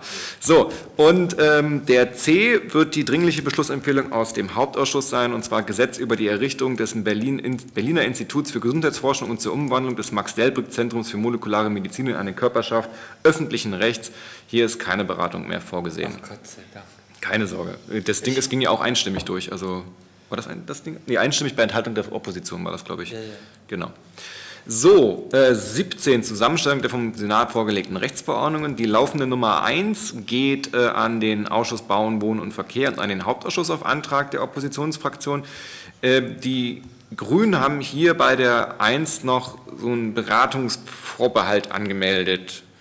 Ähm, ich gehe mal davon aus, dass sie den fallen lassen werden. Es ist die Umwandlungsverordnung, Wolfram. Äh, ich gehe aber davon aus, dass die das noch fallen lassen. Aber also, Nee, ich gehe davon aus, dass es, dass es nicht passiert. Notfalls ist genau, also was will man da jetzt groß sagen? Also das ist halt Umwandlungsverordnung. Also, naja. So, laufende Nummer zwei, nee, die laufende Nummer drei wird, äh, wird noch irgendwas überwiesen. Die Nummer zwei wird an Gesundheit und Soziales überwiesen, genau. Äh, Tagesordnungspunkt 18. Deutschland braucht ein Einwanderungsgesetz, ist mit großer Wahrscheinlichkeit Prio der Grünen. 19. Frei, aber wieso? Der Redner ist nicht Wolfram Pries. Wolfram Pries ist oben, also bei 18 ist äh, Fabio. Die laufende Nummer 3, da passiert nichts mit.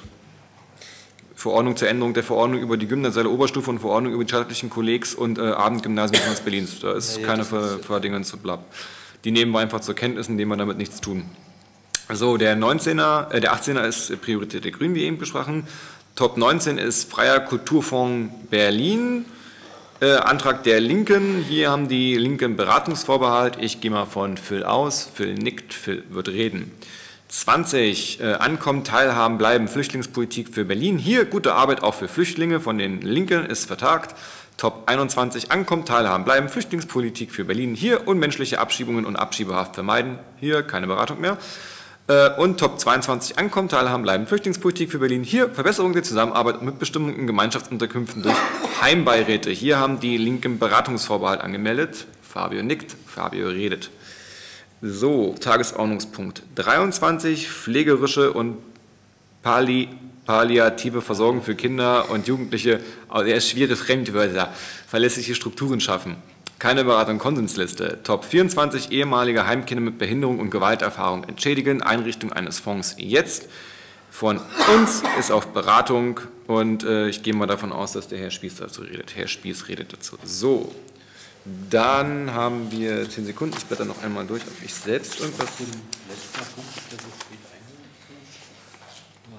Ja, das ist halt, wenn wir die Anträge an einem Dienstag beschließen und dann fürs Plenum danach einreichen, sind wir immer die Letzten. Können wir ganz kurz noch die beiden Anträge, die wir gerade beschlossen haben, Genau. drauf, äh, Ich wollte jetzt nur, jetzt bin ich, sind wir nämlich einmal durch. Jetzt haben wir nämlich noch die beiden Anträge, die wir vorhin beschlossen haben. Das ist einmal ITC abreißen und ähm, das mit der City Tax. Jetzt kommen wir nämlich, also die werden dann hinten 24a und 24b äh, sein.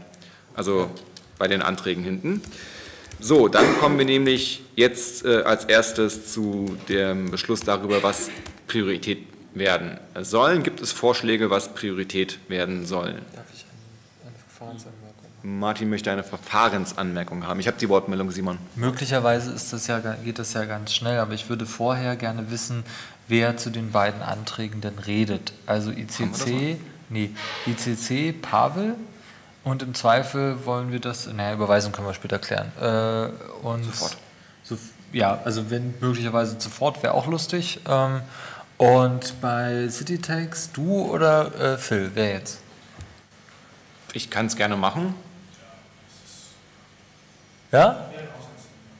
Okay, Also ist, ich, die Begründung geht dann auch weniger auf die inhaltliche Verteilung, weil die inhaltliche Okay. Verteilung ist ausgiebig diskutiert. Es geht darum, dass der Senat nicht an sein scheiß Haushaltsgesetz hält. Gut, dann haben wir das jetzt geklärt und wissen, dass die beiden Punkte auch RednerInnen haben. Jetzt äh, störe ich euch nicht weiter. Okay, gut. Dann kommen wir zur Prio. Die erste Wortmeldung war von Simon.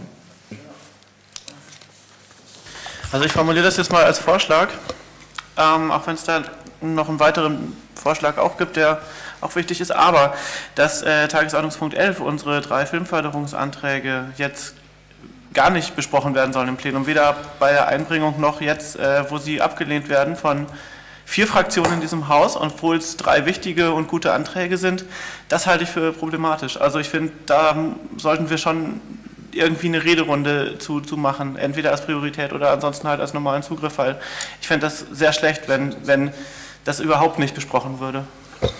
Ähm, ist das ein, also nur Anmerkung, wir machen jetzt erstmal die Prio. Ist das ein Vorschlag für die Priorität? Okay, das ist ein Vorschlag für die Priorität. Dann hat Martin einen Vorschlag. Also ähm, derjenige, der dazu reden würde, wäre es ja nicht du, sondern äh, Simon Weiß. Ich würde, bevor wir uns dazu entscheiden, hier sowas als Prio reinzusetzen, auch Simon erstmal befragen. Simon ist heute aus äh, persönlichen Gründen nicht da und es ist auch unklar, ob er am äh, am Donnerstag kommt. Insofern äh, besteht meiner Meinung nach die einzige Möglichkeit, äh, ähm, um da nochmal den Bratz, ja, wir gegen alle, wenn wir das möchten, äh, loszuwerden, das Ganze zu vertagen. Das ist eine Beschlussempfehlung, das heißt, man müsste das im Konsens vertagen.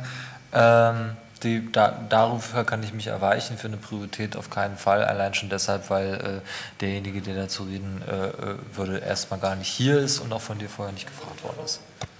Der, äh, dann ziehst du den erstmal, wir kommen da später doch einfach dazu. Wir klären jetzt erstmal die Prio. Ziehst du den Prio damit zurück erstmal?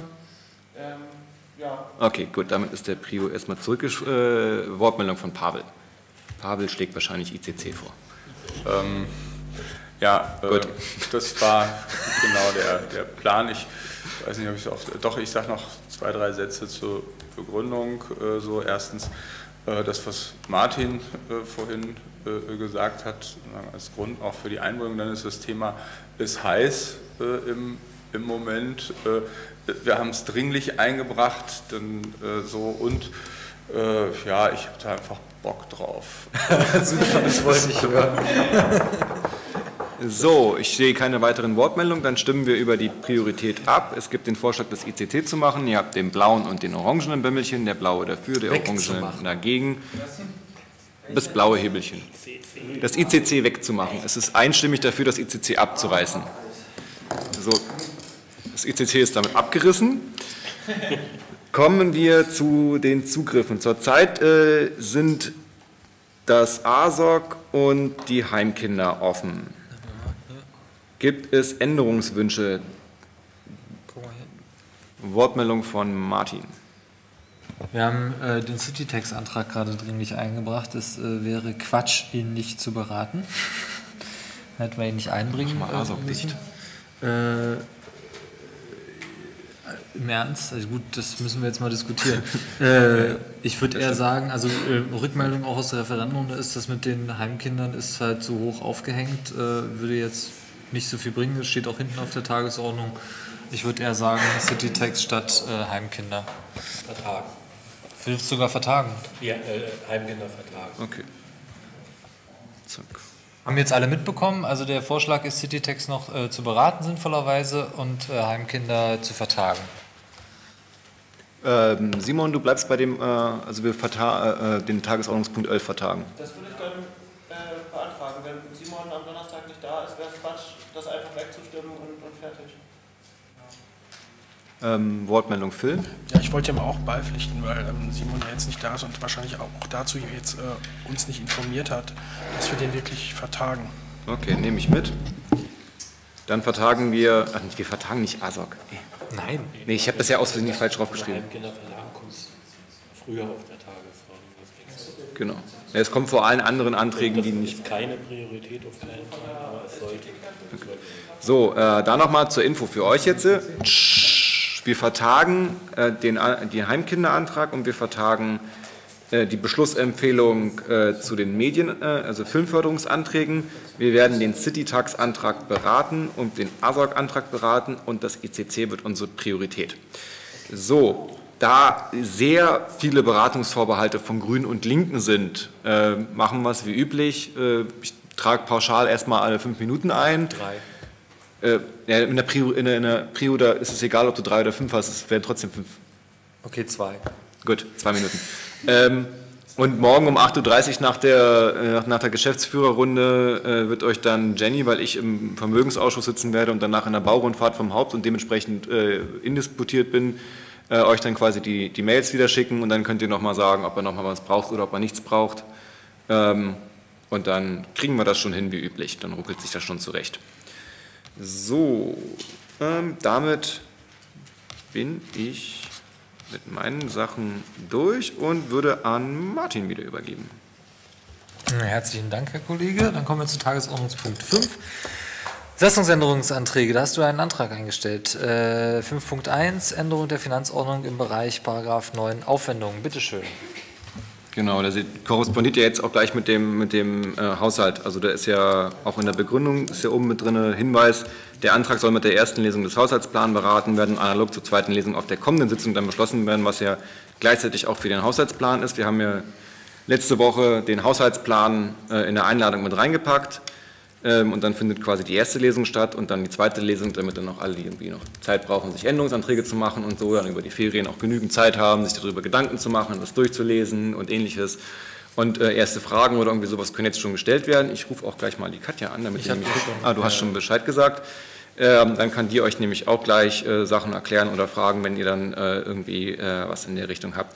So, zum Antrag äh, selber.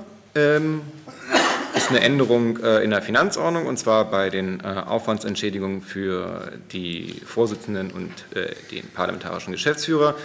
Äh, ist es im Prinzip eine Anhebung von ein Drittel auf die Hälfte und eine Gleichbehandlung der Vorsitzenden und der parlamentarischen Geschäftsführer, weil es keinen Unterschied in der Arbeitsbelastung gibt.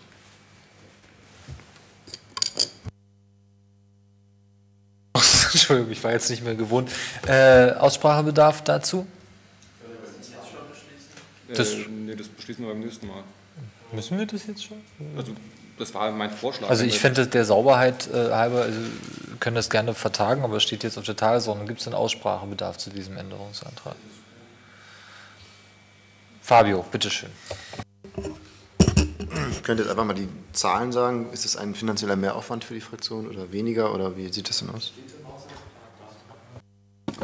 Darf ich? Also, ja, es ist ein finanzieller Mehraufwand für die Fraktion, weil es steigt von ein Drittel auf ein Fünftel. Und das sind in Zahlen, äh, äh,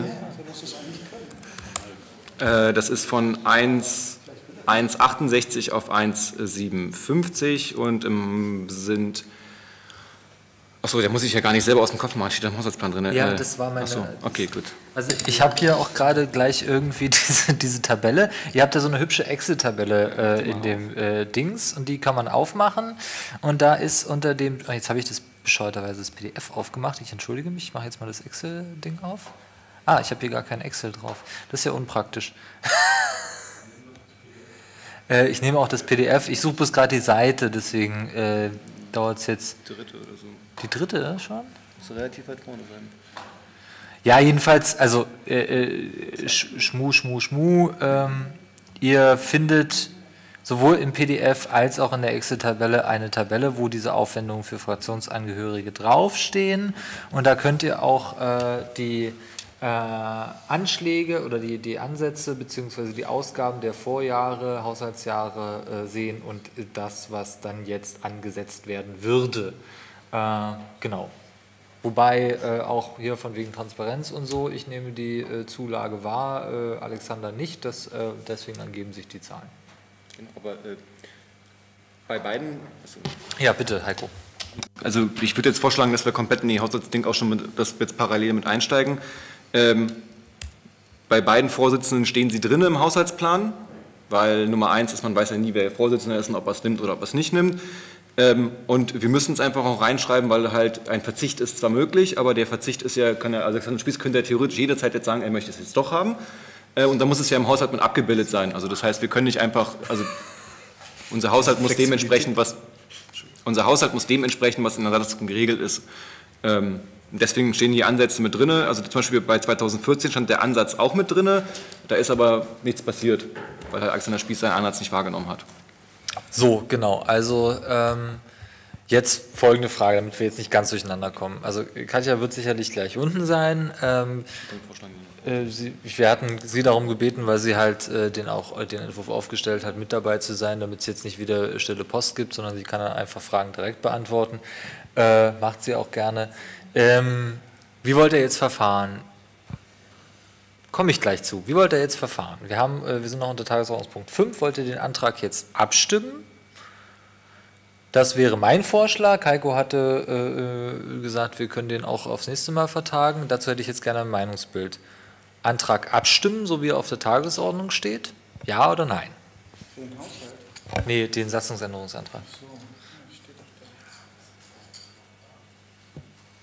So, äh, ich stelle fest, das ist leicht positiv. Dann äh, ist das erstmal mein Meinungsbild und der Christopher hat einen Wortbeitrag. Also äh, ich finde das äh, vollkommen äh, in Ordnung, wenn ihr da äh, das äh, anhebt und ähm, würde anregen, dass vielleicht, äh, also wir können das ja gerne auf nächste Woche verschieben, aber vielleicht, dass man es auf, was habt ihr jetzt im Moment, ein Drittel und jetzt sind es ein... Ja, äh, dass ihr es direkt irgendwie auf 50 Prozent oder so anhebt, äh, wenn es der Haushalt hergibt. Also, weil.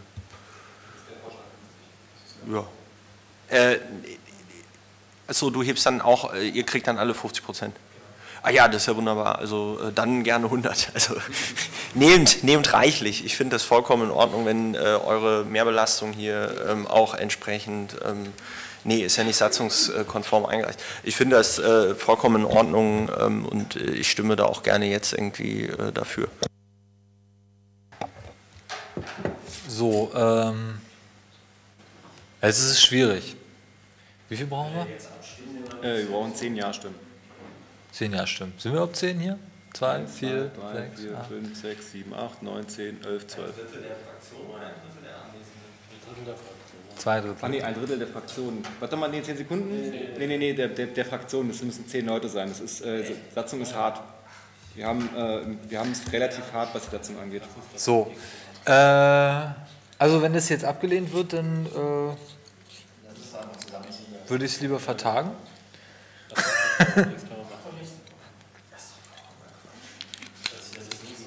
Das weiß ich auch nicht, aber nächste wenn es äh, dem Bauchgefühl dient, Christopher, dann äh, bin ich da auch dafür.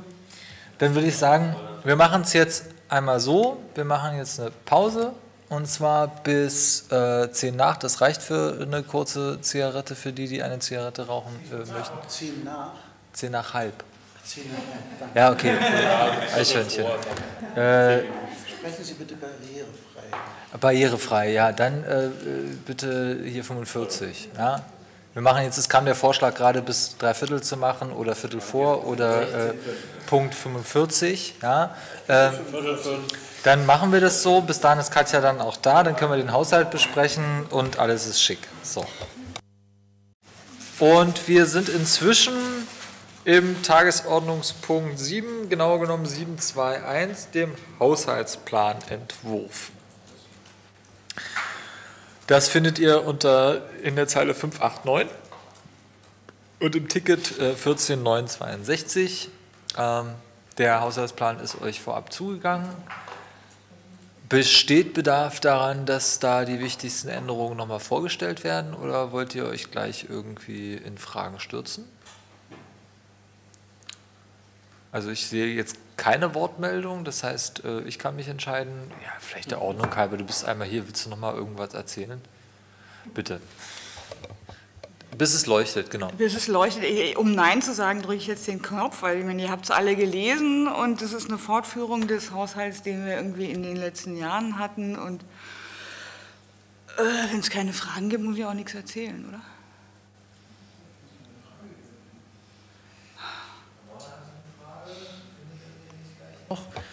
Ähm, genau, also es ist halt, äh, na, ihr seht, es ist für auch so gerechnet, dass es dann bis 2016 reicht, das Geld, äh, bis auf einen kleinen Puffer, einen klitzekleinen Puffer. Ich habe ja äh, die Hoffnung, dass wir äh, auch wie sonst auch immer die äh, Ansätze so hoch angesetzt haben, sodass dann auch ein bisschen mehr Puffer äh, am Ende übrig bleibt, aber das sehen wir nächstes Jahr. Ähm, Wird funktionieren. Wird funktionieren. Im Zweifel informieren wir, wenn es eine Haushaltsnotlage geben sollte, aber wir äh, haben Aber wir haben äh, das so aufgestellt, dass äh, wir äh, unsere, den uns zur Verfügung stehenden Steuergeldern äh, möglichst effizient und vollständig ausschöpfen, so wie es äh, in der Verfassung steht. Na? So, hast du deine Frage wiedergefunden, Alexander? Ich suche verzweifelt. Du kannst sie auch später noch per Mail einreichen. Wir wollen den ja dann nochmal aufrufen mit Änderungsanträgen und so. Gleich hat das. Wir warten. Hat sonst noch jemand eine Frage zu dem Haushaltsentwurf? Ja, Christopher. Christopher hat sich gemeldet. Bitteschön. Also zu dem Haushalt habe ich keine Fragen, weil wenn ihr sowas macht, gehe ich davon aus, dass äh, das Hand und Fuß hat. Ich finde es nett, dass ihr uns die Gelegenheit gebt, jetzt hier ähm, an dieser äh, Sache teilzuhaben. Ich für meinen Teil kann sagen, dass ich mir im Vorfeld dieser Fraktionssitzung nicht diesen Haushaltsplan angeguckt habe. Ich hätte mit Sicherheit die Möglichkeit dazu, Möglichkeit dazu gehabt. Deswegen fände ich es auch falsch, jetzt Fragen dazu zu stellen, weil ich, äh, wie gesagt, mich eh nicht damit auseinandergesetzt habe. Die einzige Frage, und das wäre jetzt tatsächlich eine Verfahrensfrage, wäre, wie wir jetzt mit dem Antrag umgehen, eure äh, Funktionszulagen zu erhöhen. Ich habe mich jetzt auch nochmal dank äh, kundiger Hilfe davon äh, überzeugen können, dass in unserer Satzung tatsächlich, und äh, ich entschuldige mich dafür in aller Form, ähm, drin steht, dass wir zwei Drittel aller Fraktionsangehörigen brauchen. Wir sind im Moment noch zehn, beziehungsweise in, mit der übertragenen Stimme von Simon sind wir sogar elf. Und jetzt wäre die Frage, könnten wir das nicht einfach jetzt abstimmen und beschließen? Oder gibt es bezüglich dieses zugegebenermaßen sehr sensiblen Themas, meiner Meinung nach ohne Grund, noch weiteren Gesprächsbedarf, weil sonst wäre ich nämlich dafür, dass wir das äh, auch beschließen. So, ähm, Pavel meldet sich und dann der Alexander, der seine Frage sicherlich wiedergefunden hat. Bitte schön, Pavel. Ja, wie gesagt, nur eine Anmerkung. Äh, ich finde es äh, ja ganz positiv, dass der Haushaltsplan vorsieht, äh, unsere ja, Rücklagen, die wir haben, beziehungsweise den, den Kontostand, der doch in den letzten Jahren doch sehr stark angewachsen ist, wieder auf eine, das notwendige Maß zurückzuführen, weil ich einfach kein gutes Gefühl dabei habe, dass wir einfach die äh, ja, Gelder nicht auszuschöpfen in der Lage waren in den letzten äh, Jahren. Das ist, äh, ich sag mal, bei aller sicherlich Vorsicht und Zurückhaltung, aber nicht unbedingt im Sinne des Verfassungsgebers. Insofern, so das ist die eine Sache. Und die andere Sache wäre wirklich jetzt einfach, ähm, ja, ich weiß nicht, ob dass ich das jetzt als Antrag auf Meinungsbild machen soll oder äh, nee, eher lieber die, die, die, die Bitte, einfach Frage, wer hat jetzt äh, noch Gesprächsbedarf oder Bedenken angesichts äh, dieses äh, äh, Haushaltes, so wie er da jetzt da jetzt steht, einschließlich der erhöhten äh, Mittel äh, ja, für äh, Funktionszulagen. Das würde mich interessieren, ob jetzt hier in der Runde jemand sagt, äh, finde ich nicht gut. Dein Meinungsbild musst du mir noch mal kurz, dein Meinungsbild war wer? Mehr äh, so die, die äh, wie gesagt, ich habe es jetzt nicht als Meinungsbild formuliert, sondern nur als Bitte an die, an, die, an, die, an die Anwesenden doch bitte irgendwie jetzt sich zu äußern oder für immer zu schweigen. ja, dann warte ich auf Äußerungen, insbesondere derjenigen, die vorhin äh, Bedenken geäußert haben, aber zunächst mal Alexander, der äh, seine Frage wiedergefunden hat. Ja, ich ähm, habe eigentlich nur so ein paar Verständnisfragen. Was ist KDW? Ah. Äh, Konferenz Demokratische Wirtschaft. Ach, das ist meine Was Abkürzung, weil die dann besser in die Zeile passen. Ja. Was ist irgendwas anderes, was dieses Jahr 0, dann 10.000 und dann wieder 0 Euro hat? Also wenn du jetzt sagst, das ist irgendwas anderes, dann äh, sage ich, ja, das steht da so, aber was? Wo bist du? Kannst du mir denn das, äh, das Budget sagen? Ich ahne, was du meinst. Ich aber, eine Ahnung, aber du musst genauer sagen. Aha. Ah, ich hab's. Okay.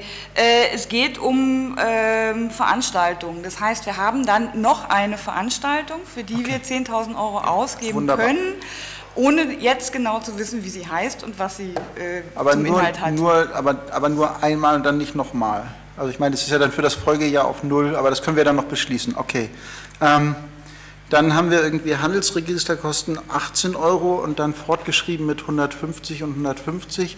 Ähm, erwarten wir stark gestiegene Handelsregisterkosten oder woraus äh, äh, ergibt sich dieser Anstieg um fast 1000 Prozent?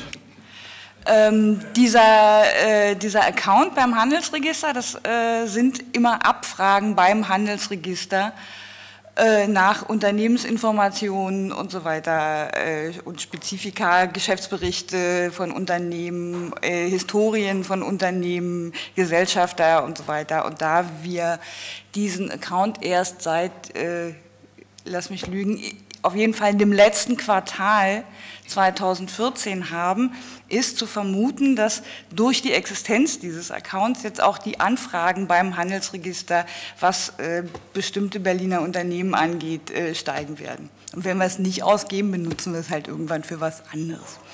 Und dann haben wir 152 für äh, da ist es ja, Entschuldige, ich dachte, es hätte noch an. Habe ich das wirklich ausgemacht? Ähm, dann haben wir irgendwie eine Verdopplung der Domainkosten, eine mehr als Verdopplung der Domainkosten ähm, aber keinerlei Geld für entsprechende Zertifikate geplant. Heißt es, wir wollen eine größere Menge an zusätzlicher Themendomains einführen, aber dort dann auch keinen SSL-Zugang ermöglichen. Ich, ich frage nur so am Rande, weil ich sollte mir das ja durchlesen. Ähm, das ist schön, dass du das durchgelesen hast. Das sind halt äh, ähm, den technischen Teil können wir vielleicht nachher noch zusammen klären. Wir haben verschiedene äh, Domains gekauft, sprich diese freiflächen.de und äh, äh IFG und weiß ich nicht. Wenn wir dafür Zertifikate benötigen, dann müssten wir die theoretisch noch einstellen. Das können wir vielleicht äh, noch mal klären. Das hier jetzt gerade zum Zielgespräch. Äh, ja, natürlich wollen wir gerne Zertifikate dazu haben. Das sind jetzt aber keine allzu großen Summen, das kriegen wir in dem Haushalt ohne Probleme abgebildet. Auch mit dem marginalen Puffer, den wir noch haben. Du weißt ja, wie viel so ein Zertifikat auch mit Subdomains äh, kostet. Unglaubliche Summen. Ja, ja. Aber danke der Frage, guter Hinweis. noch eine? Den, den Rest die, die gucke ich mir dann später an. Das ist schön. Dankeschön. Dann danke ich für. So, äh, jetzt äh, hoffe ich mal, dass es hier noch Wortmeldungen zu der von Pavel aufgebrachten äh, Frage, äh, die mich auch sehr interessiert, gibt. Bitte schön, äh, Phil. Ja, genau, direkt auf die ähm, Frage von Pavel hin. Ähm, wir haben ja ähm, den ähm, Haushaltsentwurf jetzt hier und ähm, den gucken uns haben uns auch schon angeguckt und werden den beim nächsten Mal dann in der zweiten Lesung dann beschließen. Das heißt, also aus meiner Sicht besteht jetzt keine ähm, ja, kein Zeitdruck, dass wir jetzt auch ähm, die Änderungen an den äh, Funktionszulagen, die ich auf jeden Fall befürworte, denn es ähm, ist ganz klar, dass es ähm, durch Mehraufwand ähm, gerechtfertigt ist. Dass wir das heute nicht unbedingt beschließen müssen, sondern dass wir es beim nächsten Mal dann im Paket bestimmen müssen. Vor allen Dingen auch deshalb, weil halt eben einige fehlen, weil fünf Leute jetzt fehlen und ähm, die, die sich das dann auch nochmal genau angucken können. Und dann beim nächsten Mal wird das wahrscheinlich auch sicherer und mit einer noch sichereren Mehrheit ähm, bestimmen, abschließen können. Vielen Dank für die Erklärung. Ähm, dem möchte ich entgegenhalten, dass wir heute eine relativ hohe Beteiligung an der Sitzung verglichen mit äh, anderen Sitzungen haben. Bis auf der letzten Sitzung, wo die äh, Beteiligung noch höher war, was aber durchaus so ein statistischer Ausreißer ist. Insofern ist überhaupt nicht sichergestellt, dass wir das nächste Mal dann auch nach den Ferien in alter Frische, wer weiß, welche Unfälle euch wieder passieren und wer irgendwie im Krankenhaus, Krankenhaus ist. Es gibt auch wieder Bürgersprechstunden, daran muss man auch immer erinnern, das ist äh, wichtig. Ähm, Möglicherweise möchte ja noch jemand eine Bürgersprechstunde äh, zur Fraktionssitzung anbieten. Äh, aber es ist genau die, da möchte ich dich äh, auf einen, einen Pferdefuß in deiner Argumentation hinweisen. Es ist überhaupt nicht sichergestellt, dass wir nochmal zehn Leute hier in diesem Raum zusammenkriegen in naher Zukunft. Äh, gut. Ähm, ich stelle fest. Zehn anwesend, wir brauchen zehn Stimmen. Ja, yeah, das mit den Delegationen ist genau, das wäre sinnvoll. Äh, das heißt, äh, du wärst für äh, Vertagens eine Tagesordnungsänderung, äh, äh, die du jetzt einbringst. Ich sehe immer noch keinen Grund, warum wir das jetzt nicht abstimmen können. Das hat offensichtlich keiner außer mir gelesen. Also du vielleicht und Heiko. wir haben das, wir kennen den auswendig. Ja, klar, aber sonst. Ja. Gut, wenn es nicht klappt, dann stellen wir den Antrag nächste Woche nochmal und sind uns dann vielleicht unserer Mehrheit sicher. Das ist ja auch völlig okay. Also gut. Äh. Wir machen jetzt für so lange, bis es passt. du hast natürlich, aber es, was soll sich denn ändern, wenn jetzt eh keiner einen Änderungsantrag für, die, für den Haushalt vorgesehen hat oder die, die was 10.000 Euro da noch verwenden möchte, dann bringt es ja nichts. Also, äh, Phil. Also du meinst jetzt den Haushalt auch direkt jetzt schon abzustimmen? Nein, nein, nein. Ja, falls irgendwie weil das meinte nämlich Alexander gerade wegen der Fragen. Also falls jetzt nochmal irgendwie, es gibt nochmal... Der Haushalt muss, hat eine einfache Mehrheit zum Beispiel. so, okay. Um jetzt die Verwirrung komplett zu machen, stimme ich jetzt den Satzungsänderungsantrag, so wie er von Heiko vorgestellt und eingebracht worden ist, ab und frage nach Für- bzw. Gegenstimmen zu diesem Satzungsänderungsantrag. Ich bitte, äh, die Bömmelchen zu heben.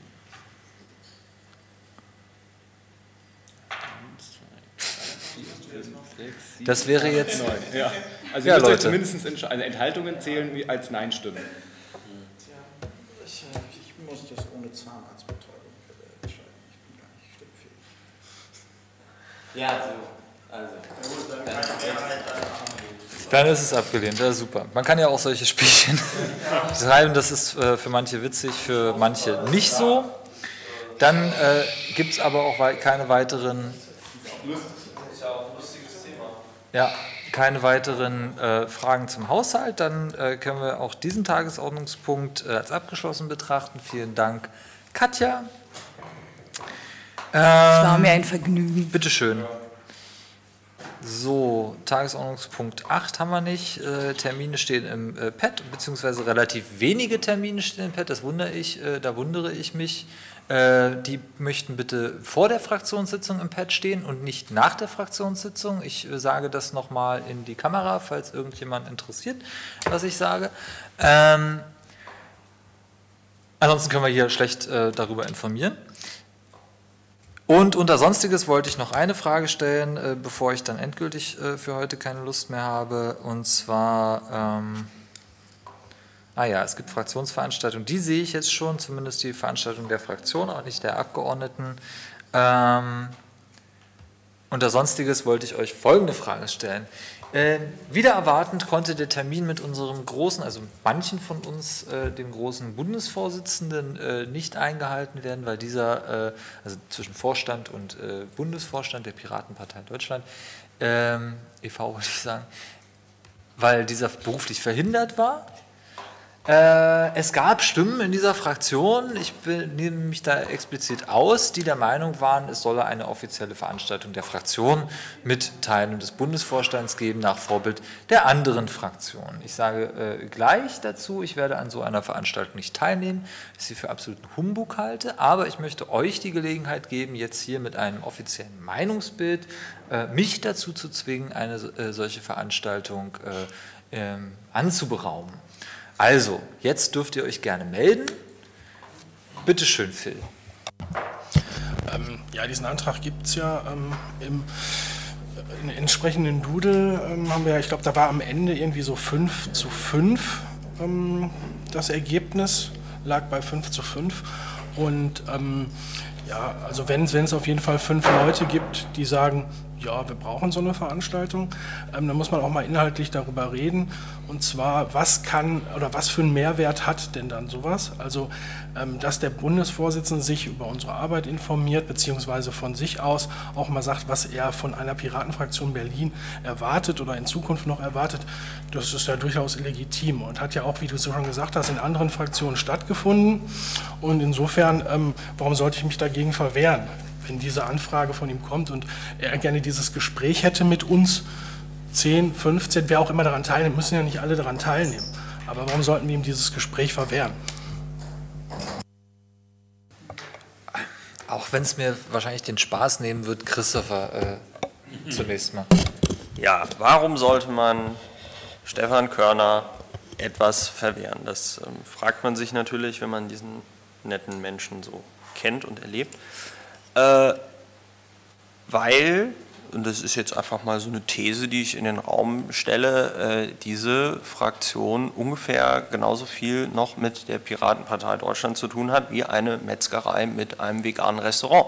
So, und äh, ja, und ich äh, weiß hier von diversen Mitgliedern, die äh, nicht, sage ich mal, der öffentlichen Darstellung widersprechen. Sie seien quasi de facto ausgetreten. Ich weiß von diversen Mitgliedern dieser Fraktion, die bewusst nicht mehr den Mitgliedsbeitrag für diese Partei bezahlen, damit sie auf diese Art und Weise aus der Partei ausgeschlossen werden. Ich äh, halte es äh, für vollkommenen Quatsch äh, einer Partei, die bundesweit bei irgendwie nicht mehr messbar ist und äh, ja, ein Prozent ist bei einer Umfrage, die eine Schwankung von drei Prozent hat, nicht messbar.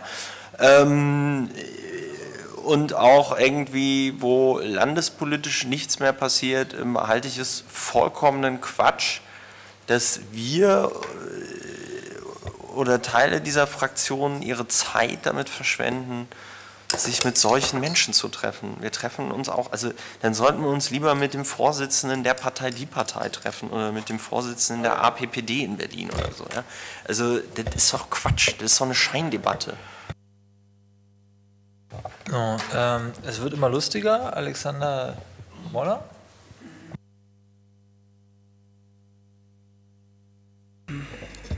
Ja, lieber Christopher, dass du kein Interesse daran hast, dass sich die Fraktion mit der Partei trifft, aus der du ausgetreten bist, ist verständlich, sonst wärst du nicht ausgetreten. Ähm, Nichtsdestotrotz sind wir äh, die Piratenfraktion im Abgeordnetenhaus Berlin. Wir sind verknüpft mit dem Landesverband Berlin der Piratenpartei Deutschland, welcher Untergliederung der Piratenpartei Deutschland ist. Und es ist auch meiner Meinung nach schon allein eine Frage des Protokolls, sich einigermaßen formell mit dem Bundesvorsitzenden zu treffen und dort in einem geschlossenen und einem offenen Teil mit ihm zu kommunizieren. Gerade in der Situation, die eingetreten ist äh, durch die erweiterte Flügelbildung, die Bildung des rechten Flügels gab es ja schon länger, die Bildung eines linken Flügels äh, ist ja dann auch eingetreten, befindet sich die Partei in einer Situation, wo endlich die beiden Teile der Partei äh, in der Lage sind, überhaupt miteinander zu reden. Vorher konnte diese Flügel nicht miteinander reden, weil es den linken Flügel de facto nicht gab, zumindest nicht als organisiertes und ansprechbares etwas. Und äh, in dieser Phase, wo endlich miteinander geredet und auch verhandelt werden kann, ja, nicht miteinander zu reden, weil man hat mit denen ja nichts mehr zu tun, obwohl man mit denen in der gleichen Partei ist und sie die Vorsitzenden der Partei sind. Äh, das heißt, äh, im Prinzip äh, ist es ja so, dass wir äh, den Bundesvorstand haben und die die vier Fraktionen als die größten und wirkmächtigsten Teile dieser Partei äh, auch wenn die Fraktionen formell nicht Teil der Partei sind, äh, steht es meiner Meinung nach völlig außer Frage, das äh, abzulehnen. Ja, und wenn man am Ende irgendwie miteinander redet und feststellt, äh, es gibt wirklich keinen Weg zu verhandeln, weil möglicherweise die eine oder die andere Seite noch keine Verhandlungsposition gebildet hat, äh, dann wird es darauf hinauslaufen, dass Teile der Fraktion und Teile des Bundesvorstands äh, mehrere Stunden hinter verschlossenen Türen miteinander reden und es dann eine schöne Erklärung gibt, die nichtssagend ist. Äh, aber es kann halt auch sein, dass Dinge bei rauskommen, von denen wir noch nicht wissen, dass sie bei rauskommen und die vielleicht gut sind. Ja, und der Fraktion und der Partei auf der eine Art und Weise helfen, sei es nur ein Weg irgendwie miteinander zu kommunizieren oder einen Weg nicht öffentlich aufeinander einzuschlagen. Aber solange man nicht miteinander redet, wird es mit Sicherheit nicht kommen. Und wenn man miteinander redet, kann etwas kommen oder auch nicht. Das heißt, es gibt zwei Optionen. Die eine Option wird mit absoluter Sicherheit und Garantie keine Ergebnisse bringen und die andere Option kann Ergebnisse bringen. Und dann zu sagen, es wird von vornherein keine Ergebnisse geben, weil wir das nicht wollen und deshalb müssen wir auch nicht miteinander reden äh, ist eine Art und Weise, Politik zu betreiben, die wir sonst anderen Piraten, ich sage mal auch Basispiraten aus Flächenländern vorwerfen. Und jetzt verhalten wir uns genauso. Ich halte das für unpassend. Und ich halte es für außerordentlich unpassend, wenn einer der beiden Vorsitzenden der Fraktion sagt, macht doch so eine Veranstaltung, aber ich werde meinen Job an dieser Stelle einfach nicht machen. Das finde ich, äh, gut, dann wird Alexander Spieß das machen, aber ich finde es halt äh, gruselig. Wir, wir, haben halt noch ein bisschen formelles Fu und äh, wir können den der Form halber auch aufrechterhalten. Wenn sich dann nach einem solchen Treffen herausstellt, dass es wirklich keine Möglichkeiten gibt, dann ist es auch ein Ergebnis. Aber wenn man sich nicht trifft, gibt es halt gar kein Ergebnis. So, Alexander Moll, ich halte deinen Redebeitrag auch für gruselig. Insofern äh, sind wir dann quitt. Äh, Zustand und Kommunikation mit der Partei ist nach Geschäftsverteilungsplan dieses Vorstands Aufgabe von Alexander Spieß. Insofern äh, mache ich jetzt hier und auch in der Organisation in der, im Vorfeld dieser Diskussion schon wesentlich mehr, als eigentlich meine Aufgabe ist. Insofern ist dein Vorwurf äh, unberechtigt und auch Quatsch. Äh, der Rest deines Redebeitrags ist auch äh, mehr oder weniger Quatsch, weil es natürlich in einem, so einem Treffen nicht darum gehen kann, irgendeinen Flügelstreit der Piratenpartei zu entscheiden, sondern um einen Austausch der Fraktion äh, mit dem Bundesvorstand der Piratenpartei Deutschland. Zur Erinnerung, äh, nicht alle Mitglieder der Piraten, äh, nicht alle Mitglieder der Fraktion sind noch Mitglieder der Piratenpartei. Insofern haben wir hier als Fraktionsvorstand auch verschiedene Interessen miteinander zu vereinen. Wenn immer noch der gemeinsame Wille besteht, und das habe ich so wahrgenommen, als Fraktion hier auch weiter gemeinsam aufzutreten. Ähm, Nochmal, das Gesprächsangebot äh, war da, ist angenommen worden und es gab ein Terminverfahren äh, mit dem Fraktionsvorstand und dem Bundesvorstand. Es wäre natürlich auch ganz viel diskutiert worden. Insofern äh, kann man da überhaupt nicht davon reden, dass man nicht miteinander reden will. Äh, ich werde gleich es gibt noch ein paar Wortmeldungen. Ich werde gleich ein paar ähm, Meinungsbilder einrufen, um mir klarzumachen, wie viele Fraktionsressourcen jetzt auf diesen Termin geworfen werden sollen und wann der, äh, also wo der angesetzt werden soll, bei einem Extratermin oder bei einer Fraktionssitzung, äh, ob es einen Livestream geben soll oder nicht. Das sind alles interessante äh, Fragen. Wie gesagt, da geht es ja auch um Kosten für die Fraktion. Ähm, ich erwarte mir tatsächlich keine Ergebnisse das kannst du anders sehen, aber das ist meine Erwartung daran und äh, für so eine Erwartung, wie gesagt, Fraktionsressourcen aufzuwenden, ähm, ist mir zu wenig. Wir bewerten auch andere Sachen, die wir tun, äh, danach, ob wir da äh, irgendwas Positives von erwarten für unsere Arbeit, für die Arbeit der Mitarbeiterinnen und Mitarbeiter und die Arbeit der Fraktionsangehörigen. Und an der Stelle ist das meine Einschätzung. Ähm, dabei bleibe ich auch. Pavel ist dran.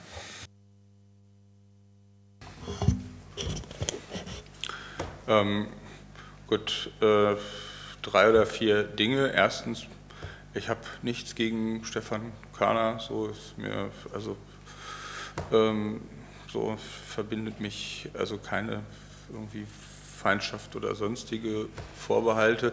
Ich halte es auch grundsätzlich okay äh, oder für, für richtig, äh, mit ihm zu reden. Ähm, ich habe aber jetzt äh, zumindest selber nichts davon mitbekommen, außer auf der, auf der letzten FSA, sagen mal Wunsch, äh, der geäußert wurde, mal zu reden, aber seitdem ist halt nichts passiert. Äh, ist auch, ich, habe auch jetzt nicht viel mitbekommen äh, von ihm und frage mich aber insbesondere, öffentliches Treffen irgendwie, was soll das? Also wenn man sich irgendwie mit ihm treffen und austauschen soll, dann würde ich sagen, dann macht man das einfach ohne große öffentliche Debatte, sondern setzt sich irgendwo hin und redet erstmal. Und wenn man dann zu dem Punkt kommt, okay, da, da kann man irgendwie zu beidseitigen Nutzen irgendwas Gemeinsames auf die Beine stellen, keine Ahnung, ihm mit Hilfe des Glanzes der Fraktion zu mehr Öffentlichkeit zu verhelfen oder, äh, äh, ja, ja. oder weiß ich nicht, gemeinsame strategische Dinge äh, auf die Beine zu stellen, dann würde ich sagen, dann macht es Sinn, äh, wenn es da irgendwelche konstruktiven Ansätze äh, gibt, äh, vielleicht da auch öffentliche Dinge zu tun.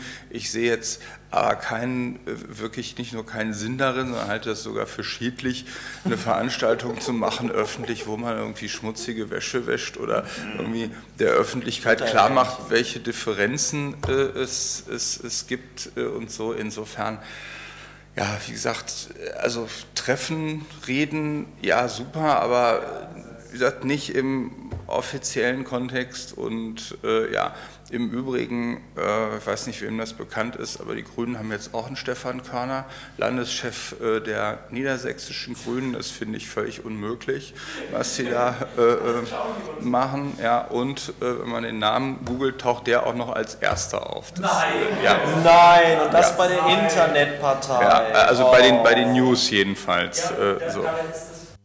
Dabei ist die Piratenpartei.de ja sogar eine offizielle Google News Seite und trotzdem ist das so, ist ja unglaublich.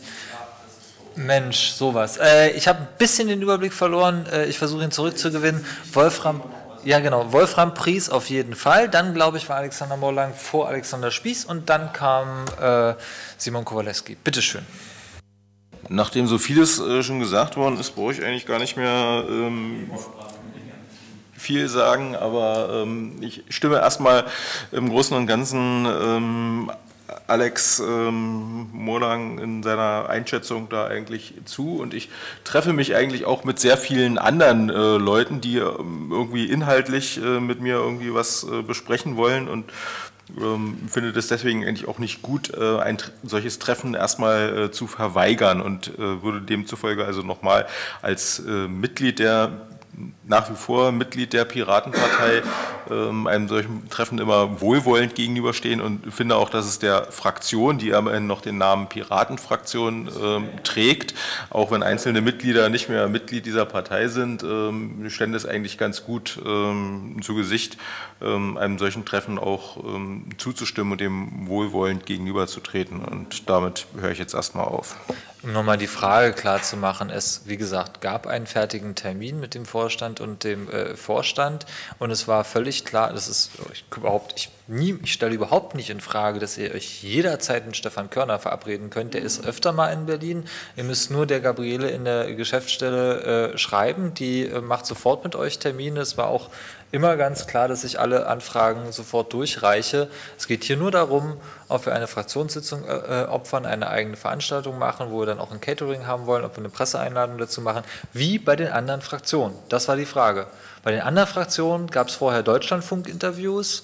Äh, es gab äh, Presseeinladungen und das ist auch die Anfrage, die äh, ich abgelehnt habe zunächst, weil ich erstmal ein Vorstandstreffen haben wollte. Es gab dann aber, weil ich eine Umfrage gemacht habe, eben auch Stimmen, die das gerne haben wollen. Und darum geht es. Nicht darum, ob wir jetzt mit Stefan Körner reden oder nicht.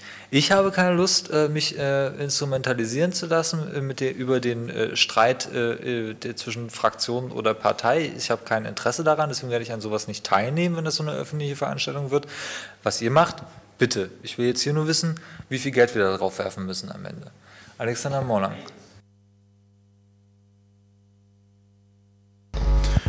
Erstmal finde ich es sehr schade, dass du einen Redebeitrag mit Quatsch und gruselig, also durch persönliche Angriffe abqualifizierst. Selbstverständlich gibt es Gesprächsbedarf und ich möchte daran erinnern, dass äh, wir 2011 uns mit dem Bürgermeister von Reykjavik im Höfi-Haus getroffen haben, um nach einer halben Stunde eine Declaration on Nothing zu unterzeichnen in, nach Vorbild de, dem Gipfeltreffen zwischen Ronald Reagan und Mikhail Gorbatschow 1986, die zwei Tage da verhandelt haben, ohne Ergebnisse. Nichtsdestotrotz gab es weitere Treffen, die haben dann Ergebnisse gebracht. Ähm, aber es muss halt ein erster Schritt getan werden. Ich gebe dir natürlich völlig recht, dass wir einen Weg finden sollten, wie dieser erste Schritt aussieht. Ich glaube aber, dass diese Debatte in diesem Punkt nicht zielführend ist. Weil wir könnten jetzt irgendwie in kurzer Abfolge Meinungsbilder über Mitpresse, ohne Presse und so weiter machen und dann kommt ein nicht schlüssiges Konzept oder irgendetwas bei raus. Ähm, oder wir finden einen besseren Weg, äh, das Format zu definieren. Es muss ja nicht exakt so aussehen, wie die anderen Fraktionen das gemacht haben. Äh, was ich an dieser Stelle noch bemerkenswert finde, ist, ähm, wie sehr dieses Vorhaben, sich mit dem Bundesvorstand zu treffen und das auch öffentlich zu tun, von dem ausgetretenen Mitglied torpediert wird. Lieber Christopher, eigentlich kann es dir doch egal sein, äh, du hast mit der Partei ja gar nichts zu tun, aber jetzt zu versuchen, das Verhältnis zwischen der Fraktion und der Partei zu vergiften, nachdem du ausgetreten bist, halte ich für unpassend. Und es äh, bestätigt mich ein bisschen in der These, dass eine Partei, die ihre ausgetretenen Mitglieder oder eine Organisation, die ihre ausgetretenen Mitglieder nicht los wird, von innen heraus vergiftet wird. Das Klima der Angst, das Klima der Angst. Äh, ich empfehle Fragen. Einen Plaggevergleich musst du wirklich nicht bringen. Was? Der ist doch nicht von Plagge, der ist doch schon. Also war der von Plagge? Das weiß ich nicht. Äh, Alexander Spieß.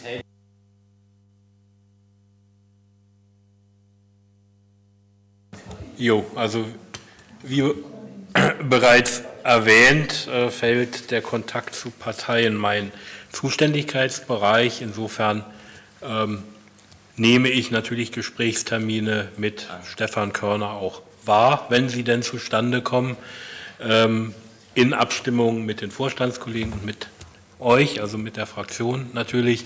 Es hat ja äh, bereits die Informationen gegeben, also gab eine Umfrage, wie wir das organisieren wollen. Ähm, so wie ich das verstanden habe, gab es jetzt äh, mehrheitlich aus der Fraktion nicht den Wunsch, eine öffentliche Veranstaltung zu machen. Ähm, und äh, da jetzt noch kein Termin feststeht, äh, ja, äh, sehe ich im Moment jetzt auch nicht den Grund, so breit in die Diskussion einzusteigen. Ja, ähm, wenn es eben äh, einen Termin gibt, äh, werden wir oder werdet ihr alle davon erfahren. Und ähm, also es kann natürlich jeder, werden wir auch organisieren, der eben Interesse hat, auch mit äh, Stefan Körner zu reden, dann auch zu diesem Termin dazukommen. Also jetzt so, na gut.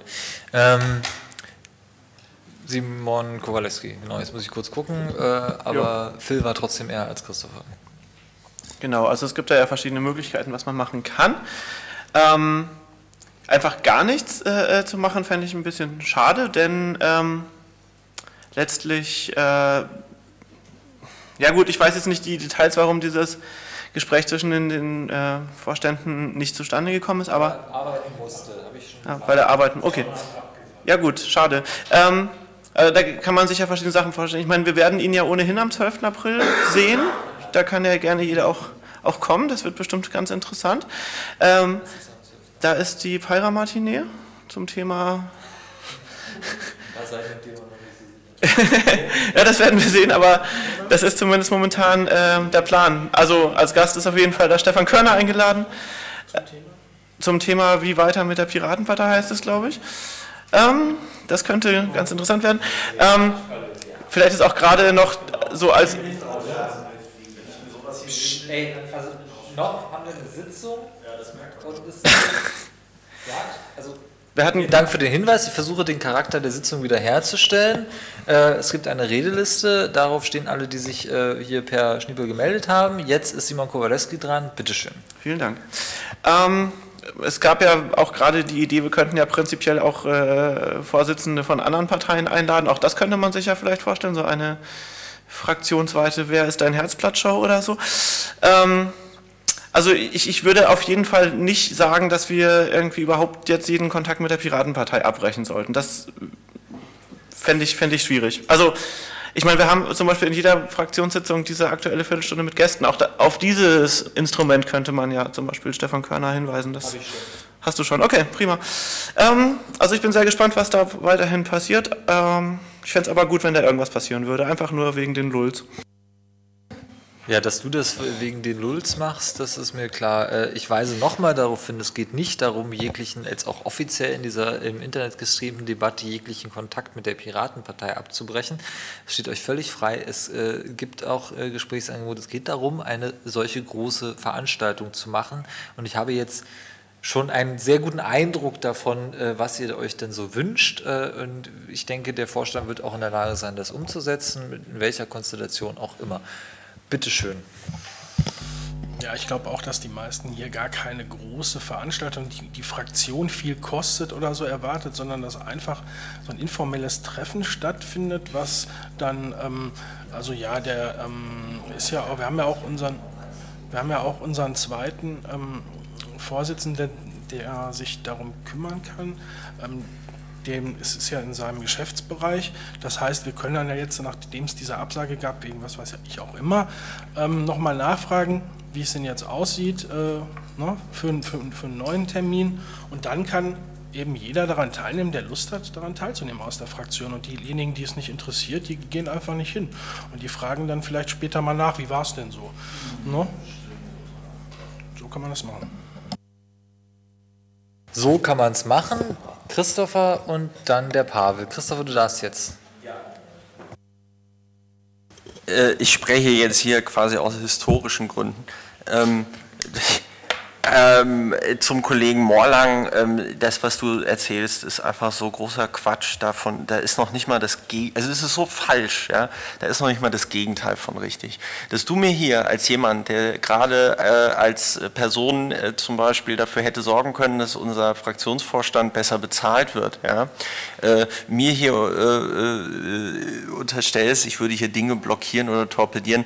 Weißt du, wenn du der Meinung bist, du musst Stefan Körner hier mit Steuerkohle ein Forum bieten, ja, dann organisier doch was. Ja, mach's doch in deinem Büro. Wir können es auch hier gerne in der Fraktion machen, groß mit Schnittchen, äh, groß mit äh, noch äh, Interviews, Pressekonferenz. Wir können noch eine Broschüre machen, können wir alles machen. Wenn du das geil findest, lass uns das machen. Ähm, das wird bestimmt auch dazu führen, dass die Piratenpartei nochmal in den Bundestag kommt, wie beim letzten Mal, oder ins Berliner Abgeordnetenhaus. Da freut sich bestimmt auch der Rechnungshof, dass wir hier Steuerkohle verwenden, um äh, Werbung zu machen. Ähm, wenn du möchtest, dass ich oder äh, Simon Weiß oder Oliver Höfinghoff diese Fraktion verlassen, ja, dann stell doch bitte einfach einen Antrag auf Ausschluss. Ja. Ähm, da würde ich mich sehr freuen, das hier mal öffentlich äh, äh zu verhandeln. Ähm, da haben wir mit Sicherheit ein bisschen Spaß. Jemand äh, wie du, äh, der ein unfassbaren Hermann gemacht hat, die letzten drei Jahre, aber auch seit 2009 in dieser Piratenpartei, hier anderen Leuten vorzuwerfen, irgendwas zu torpedieren oder sonst irgendwas. Ähm, wunderbar, wunderbar. Also so viel Realsatire und so viel kognitive Dissonanz ähm, erlebe ich hier in diesem Haus tatsächlich nur im Innenausschuss und ähm, äh, äh, hier in dieser Fraktionssitzung und ich finde es richtig großartig. Ich finde es richtig großartig und weise diesen Schwachfug äh, zurück. Und ähm, den werde ich mir auch äh, tatsächlich nicht mehr hier an dieser Stelle äh, geben und ähm, verlasse dann auch die Sitzung jetzt, weil äh, ich das auch nicht mehr aushalte. Kann ich sehr gut äh, nachvollziehen. Es gibt ja jetzt auch keine Anträge mehr. Äh, Pavel. Gut, um das jetzt auch nicht allzu lange in die Länge zu ziehen, ich sehe derzeit keine Grundlage für eine fraktionsorganisierte öffentliche Veranstaltung mit dem Bundesvorsitzenden und wollte die Frage jetzt äh, an den Vorstand bzw. an Martin stellen, ob das die auch die Erkenntnis ist, äh, zu der du jetzt gerade äh, gekommen bist, die du jetzt nicht artikuliert hast. Das würde mich nur interessieren. Kann ich das machen, nachdem der letzte Redebeitrag äh, gelaufen ist? Ist das okay äh, für dich? Äh, bitte, Alexander. Ja, ich finde es großartig. Es gibt eine große fortlaufende Serie von Beschimpfungen und persönlichen Angriffen auf mich und meine Redebeiträge. Ähm, ansonsten war da nicht viel. Ich fand es eine sehr erkenntnisreiche Debatte. Ähm, die Erkenntnisse waren jetzt nicht so besonders unerwartet und nicht besonders toll. Ähm, aber es wurde auf jeden Fall sehr viel klargestellt. Leute haben jetzt öffentlich Positionen bezogen, die sie vorher nur halb öffentlich bezogen haben. Von daher hatte es schon einen Mehrwert zumindest für die Fraktion. Ähm, von daher äh, stellt sich für mich jetzt auch die Frage, welchen Wert so etwas haben kann, wenn im Wesentlichen ein großer Wille da ist, es scheitern zu lassen, wenn es denn stattfindet. Das ist, ist ja die Frage nach äh, meinem äh, Eindruck. so Ach ja gut, das war, ich hatte es versprochen nach dem letzten Redebeitrag. Ich hätte dann die Redeliste schließen müssen, um das auch bitteschön. Gut, nur ein, ein Kommentar gerade zu dem Vorgang. Ich fühlte mich durch eure Penisfechtrunden doch ein wenig in die Vergangenheit zurückversetzt. Danke dafür. So, das ist nämlich auch der perfekte Einstieg zu meinem Eindruck. Es hat sich nämlich das gezeigt, äh, was ich erwarte, auch von einer solchen öffentlichen Veranstaltung. Es ist, wir sind äh, sofort wieder zurückversetzt worden in das Jahr 2012. Ähm, so in dieser Runde, da saßen wir, ihr erinnert euch auch schon in diesem, äh, in diesem Vieleck hier so äh, zusammen und es klang exakt so, ich nehme mich da auch nicht aus. Genau das gleiche erwarte ich auch von einer Fraktionssitzung mit Stefan Körner, egal wer daran teilnimmt. Ähm, Folgendes, mein Eindruck ist jetzt folgender. Es gibt eine äh, Gruppe von ähm, Fraktionsangehörigen, die auch nicht äh, äh, einzeln, sondern als Angehörige dieser Fraktion von der Fraktion erwarten, äh, dass es eine wie auch immer geartete gemeinsame Veranstaltung mit Stefan Körner gibt. Es gibt einen dafür zuständigen Fraktionsvorsitzenden, der sich bereit erklärt hat, diese Veranstaltung zu organisieren. Alles Weitere würde ich dann auch dem äh, zuständigen Fraktionsvorsitzenden überlassen. Das heißt, und ich meinte keine großen Schnittchen auf Steuerkosten, sondern ich meinte einfach Arbeitszeit unserer Mitarbeiterinnen und Mitarbeiter. Das Vorstandsbüro wird sich dann darum kümmern, erstmal zu erfahren, wer an, solcher, an so einer Veranstaltung teilnehmen möchte, wann ihr denn Zeit habt, wann Stefan Körner Zeit hat, die Rückmeldungen organisieren zwischen allen beteiligten Personen. Also das, was wir im kleineren Kreis mit dem Fraktionsvorstand und dem Bundesvorstand schon gemacht haben. Und dann wird es sicherlich äh, demnächst eine Veranstaltung geben, die dann hoffentlich nicht wieder abgesagt wird, weil äh, irgendjemand arbeiten muss und äh, aus Bayern äh, nicht herkommen kann.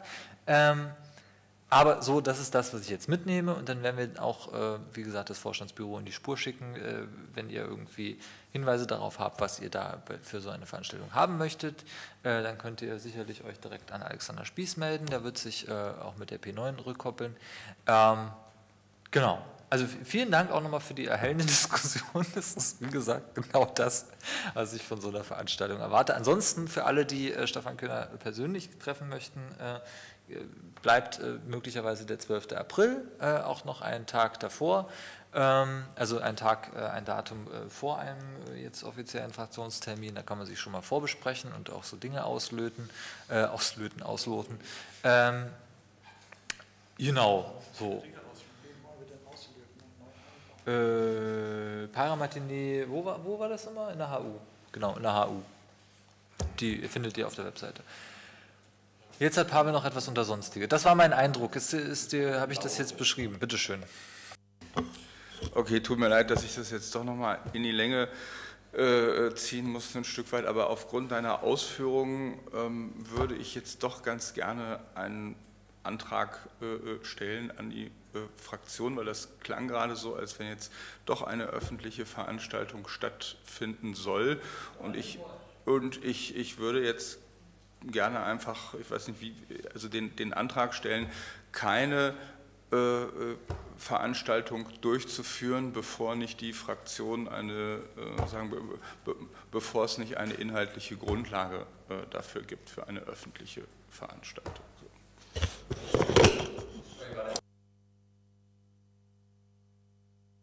Dann bis es, eine, bis es ein Konzept gibt.